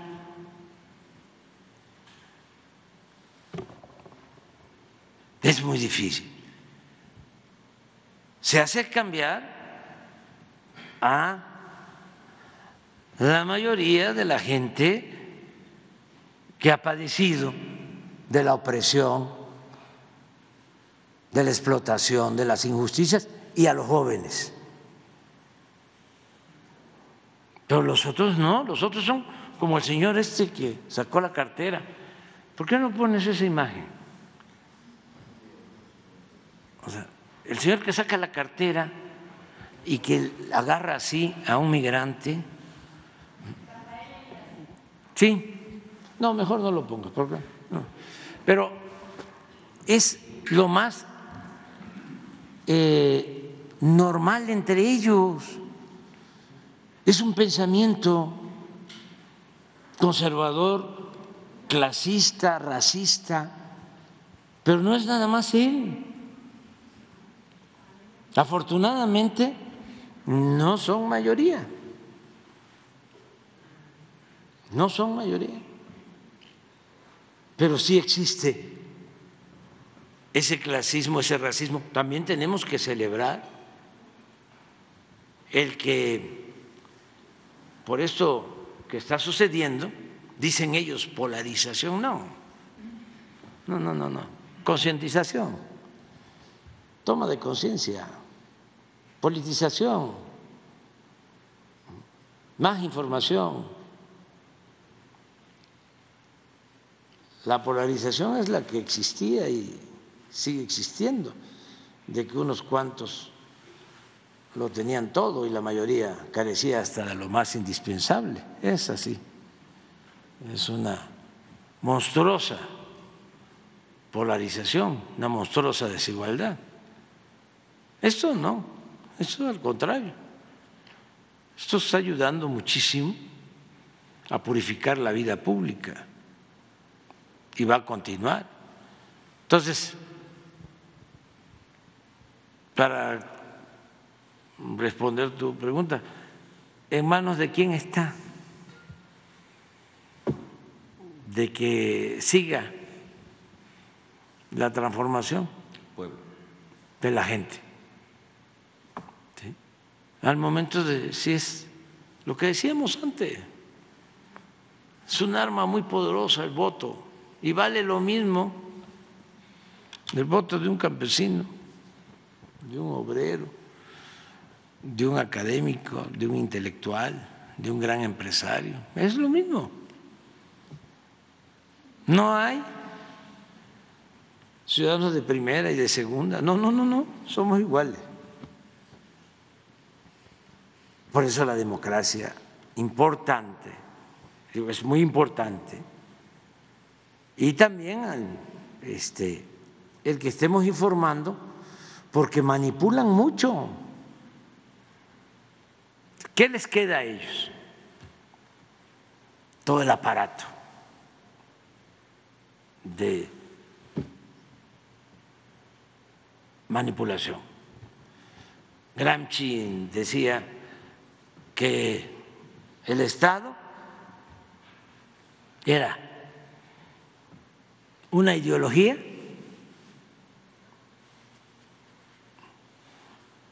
y un aparato de fuerza, de poder. Entonces, ¿qué les queda? Pues apostar a la manipulación. La mentira. Pero está, les deseo suerte, ¿eh? porque no la tienen fácil. Ya este pueblo dijo basta y ya no permite la manipulación. Entonces sí estamos avanzando, es en lo que más hemos avanzado. El pueblo de México es de los más politizados del mundo. Y no es de ahora, ¿eh? es de tiempo atrás. Desde hace miles de años, pues somos herederos de grandes civilizaciones que fueron excepcionales en todo. Eh, tenemos por eso una gran reserva de valores culturales, morales, espirituales.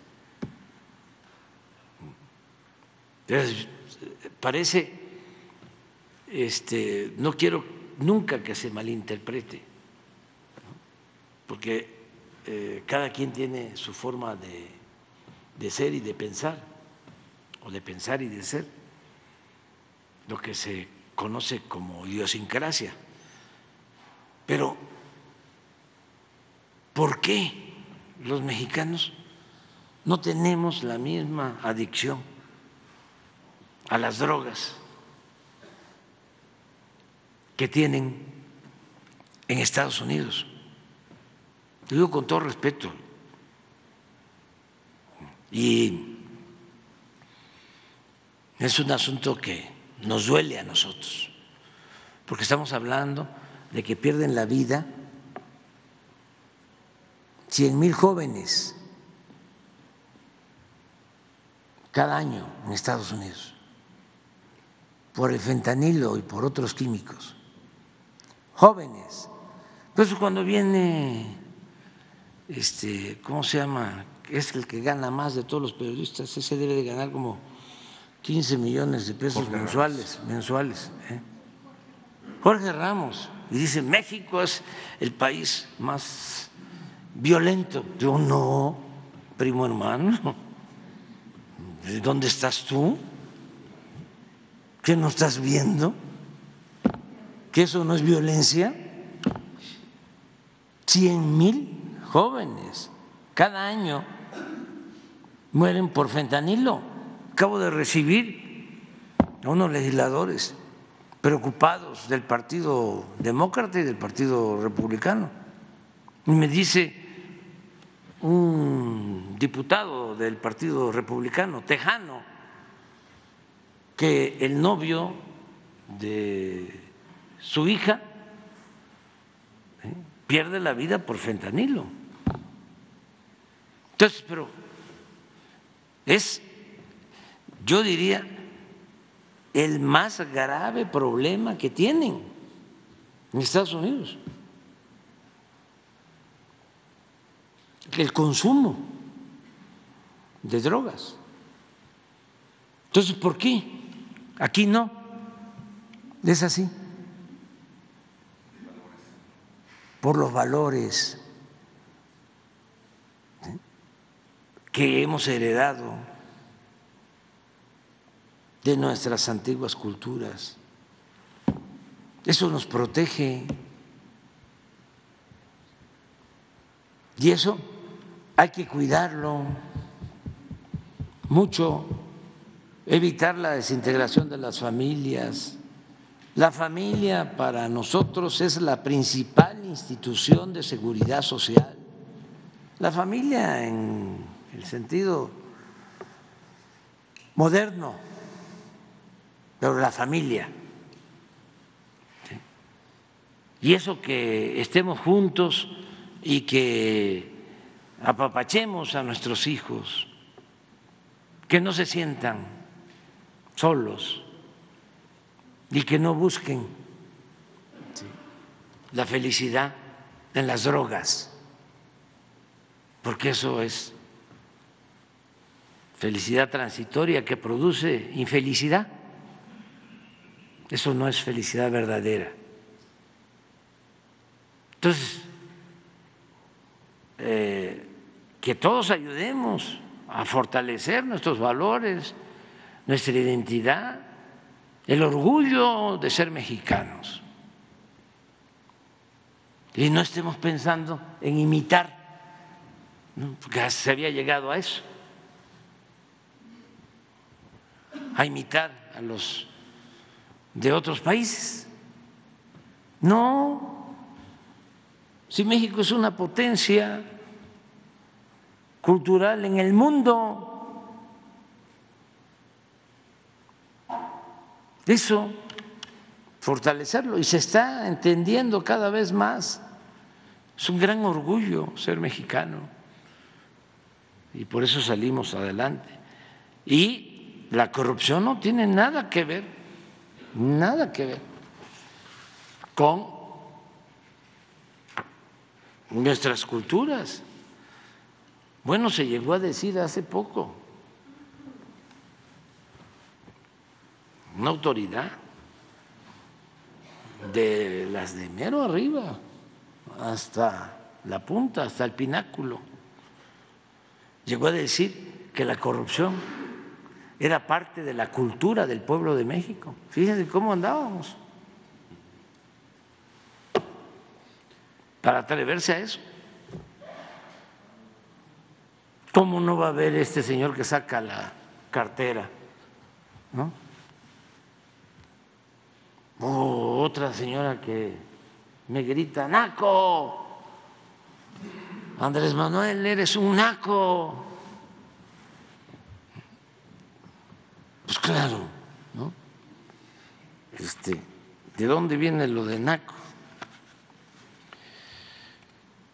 Pues de la cultura totonaca.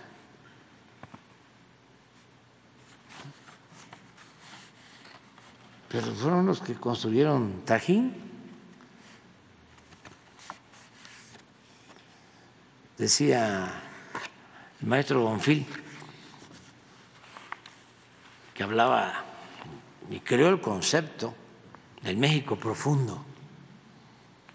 Hablaba que eran civilizaciones sometidas a las nuestras, civilizaciones sometidas. Entonces, eso es lo que tenemos que remontar y exaltar nuestros valores, porque eso es lo que nos protege ¿Qué es lo que nos saca adelante?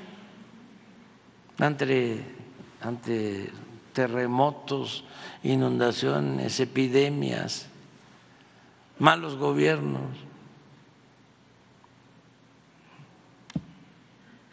Pues lo que somos, nuestras culturas.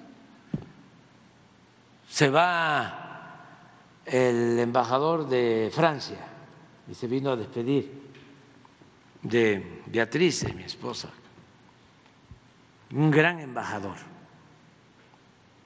un gran embajador. Y me platicaba Beatriz que le preguntó, porque eh, es un admirador de México, como muchos extranjeros que quieren y admiran a nuestro país. Y se va con ese pesar, aunque se va por una causa también muy humana. Y este y Beatriz le preguntó, ¿y qué? Este, ¿Vas a extrañar más de México? Dice, la diversidad de, la, de las culturas, la diversidad cultural. O sea, lo extraordinario de nuestro país, la grandeza cultural de México. Es un mosaico cultural. Entonces, vamos a, a seguir apoyando a México. Vámonos a desayunar, ¿no? No, no, venga, está rapidísimo. Son dos, son dos. Mire, eh, ahora que es tiempo de mujeres y que precisamente, eh, pues eh, estamos hablando de que pues las mujeres van a ocupar puestos muy importantes, están ocupando y todavía falta más. En el estado de Hidalgo, en, Mineral de Reforma, está la doctora, eh, eh, ella es Shadia Martínez Lozada, ella es presidenta del DIF en esa localidad, porque bueno, su esposo es presidente municipal. Y a pesar de que ella ha mantenido una plataforma individual, al parecer, dentro de lo que son las, eh, eh, pues, las indicaciones, en, Morena no la tomaron en cuenta para, para estar dentro de, de las, eh, ¿cómo se llama? Bueno, de las encuestas. Ella se ha mantenido siempre en, el partido Morena y lamentablemente, pues al parecer no fue suficiente. si estamos pensando de que ella no está heredando ningún puesto en los eh, términos eh, de, Morena, pues eh, no debe haber ese tipo de, actuaciones, pero tampoco debe haber violencia en cuestión de género y al parecer de eso pues sufrió ella. otro caso que es a la inversa es digamos una gran dinastía de políticos mexicanos, zacatecanos, que la verdad, aunque pues son muy buenos unos, muy buenos otros, eh, han ocupado diferentes cargos. Hay otro, por ejemplo, en este caso, y lamentable, que se ha constatado apenas unos días, es, Saúl Monreal, quien es presidente municipal de Fresnillo y ahora aspira también a ser senador, pero lamentablemente Fresnillo eh, pues tiene la mitad de los desaparecidos de todos Zacatecas. Entonces, ¿cómo es posible que también él quiera aspirar a ser eh, senador si los resultados ahí en la localidad no, no son buenos. Pues ya este, ya lo expusiste. Ya sabes cuánto te eh, escucharon y te vieron. Muchísimos, muchísimos. Y ya vámonos a desayunar. Adiós, adiós.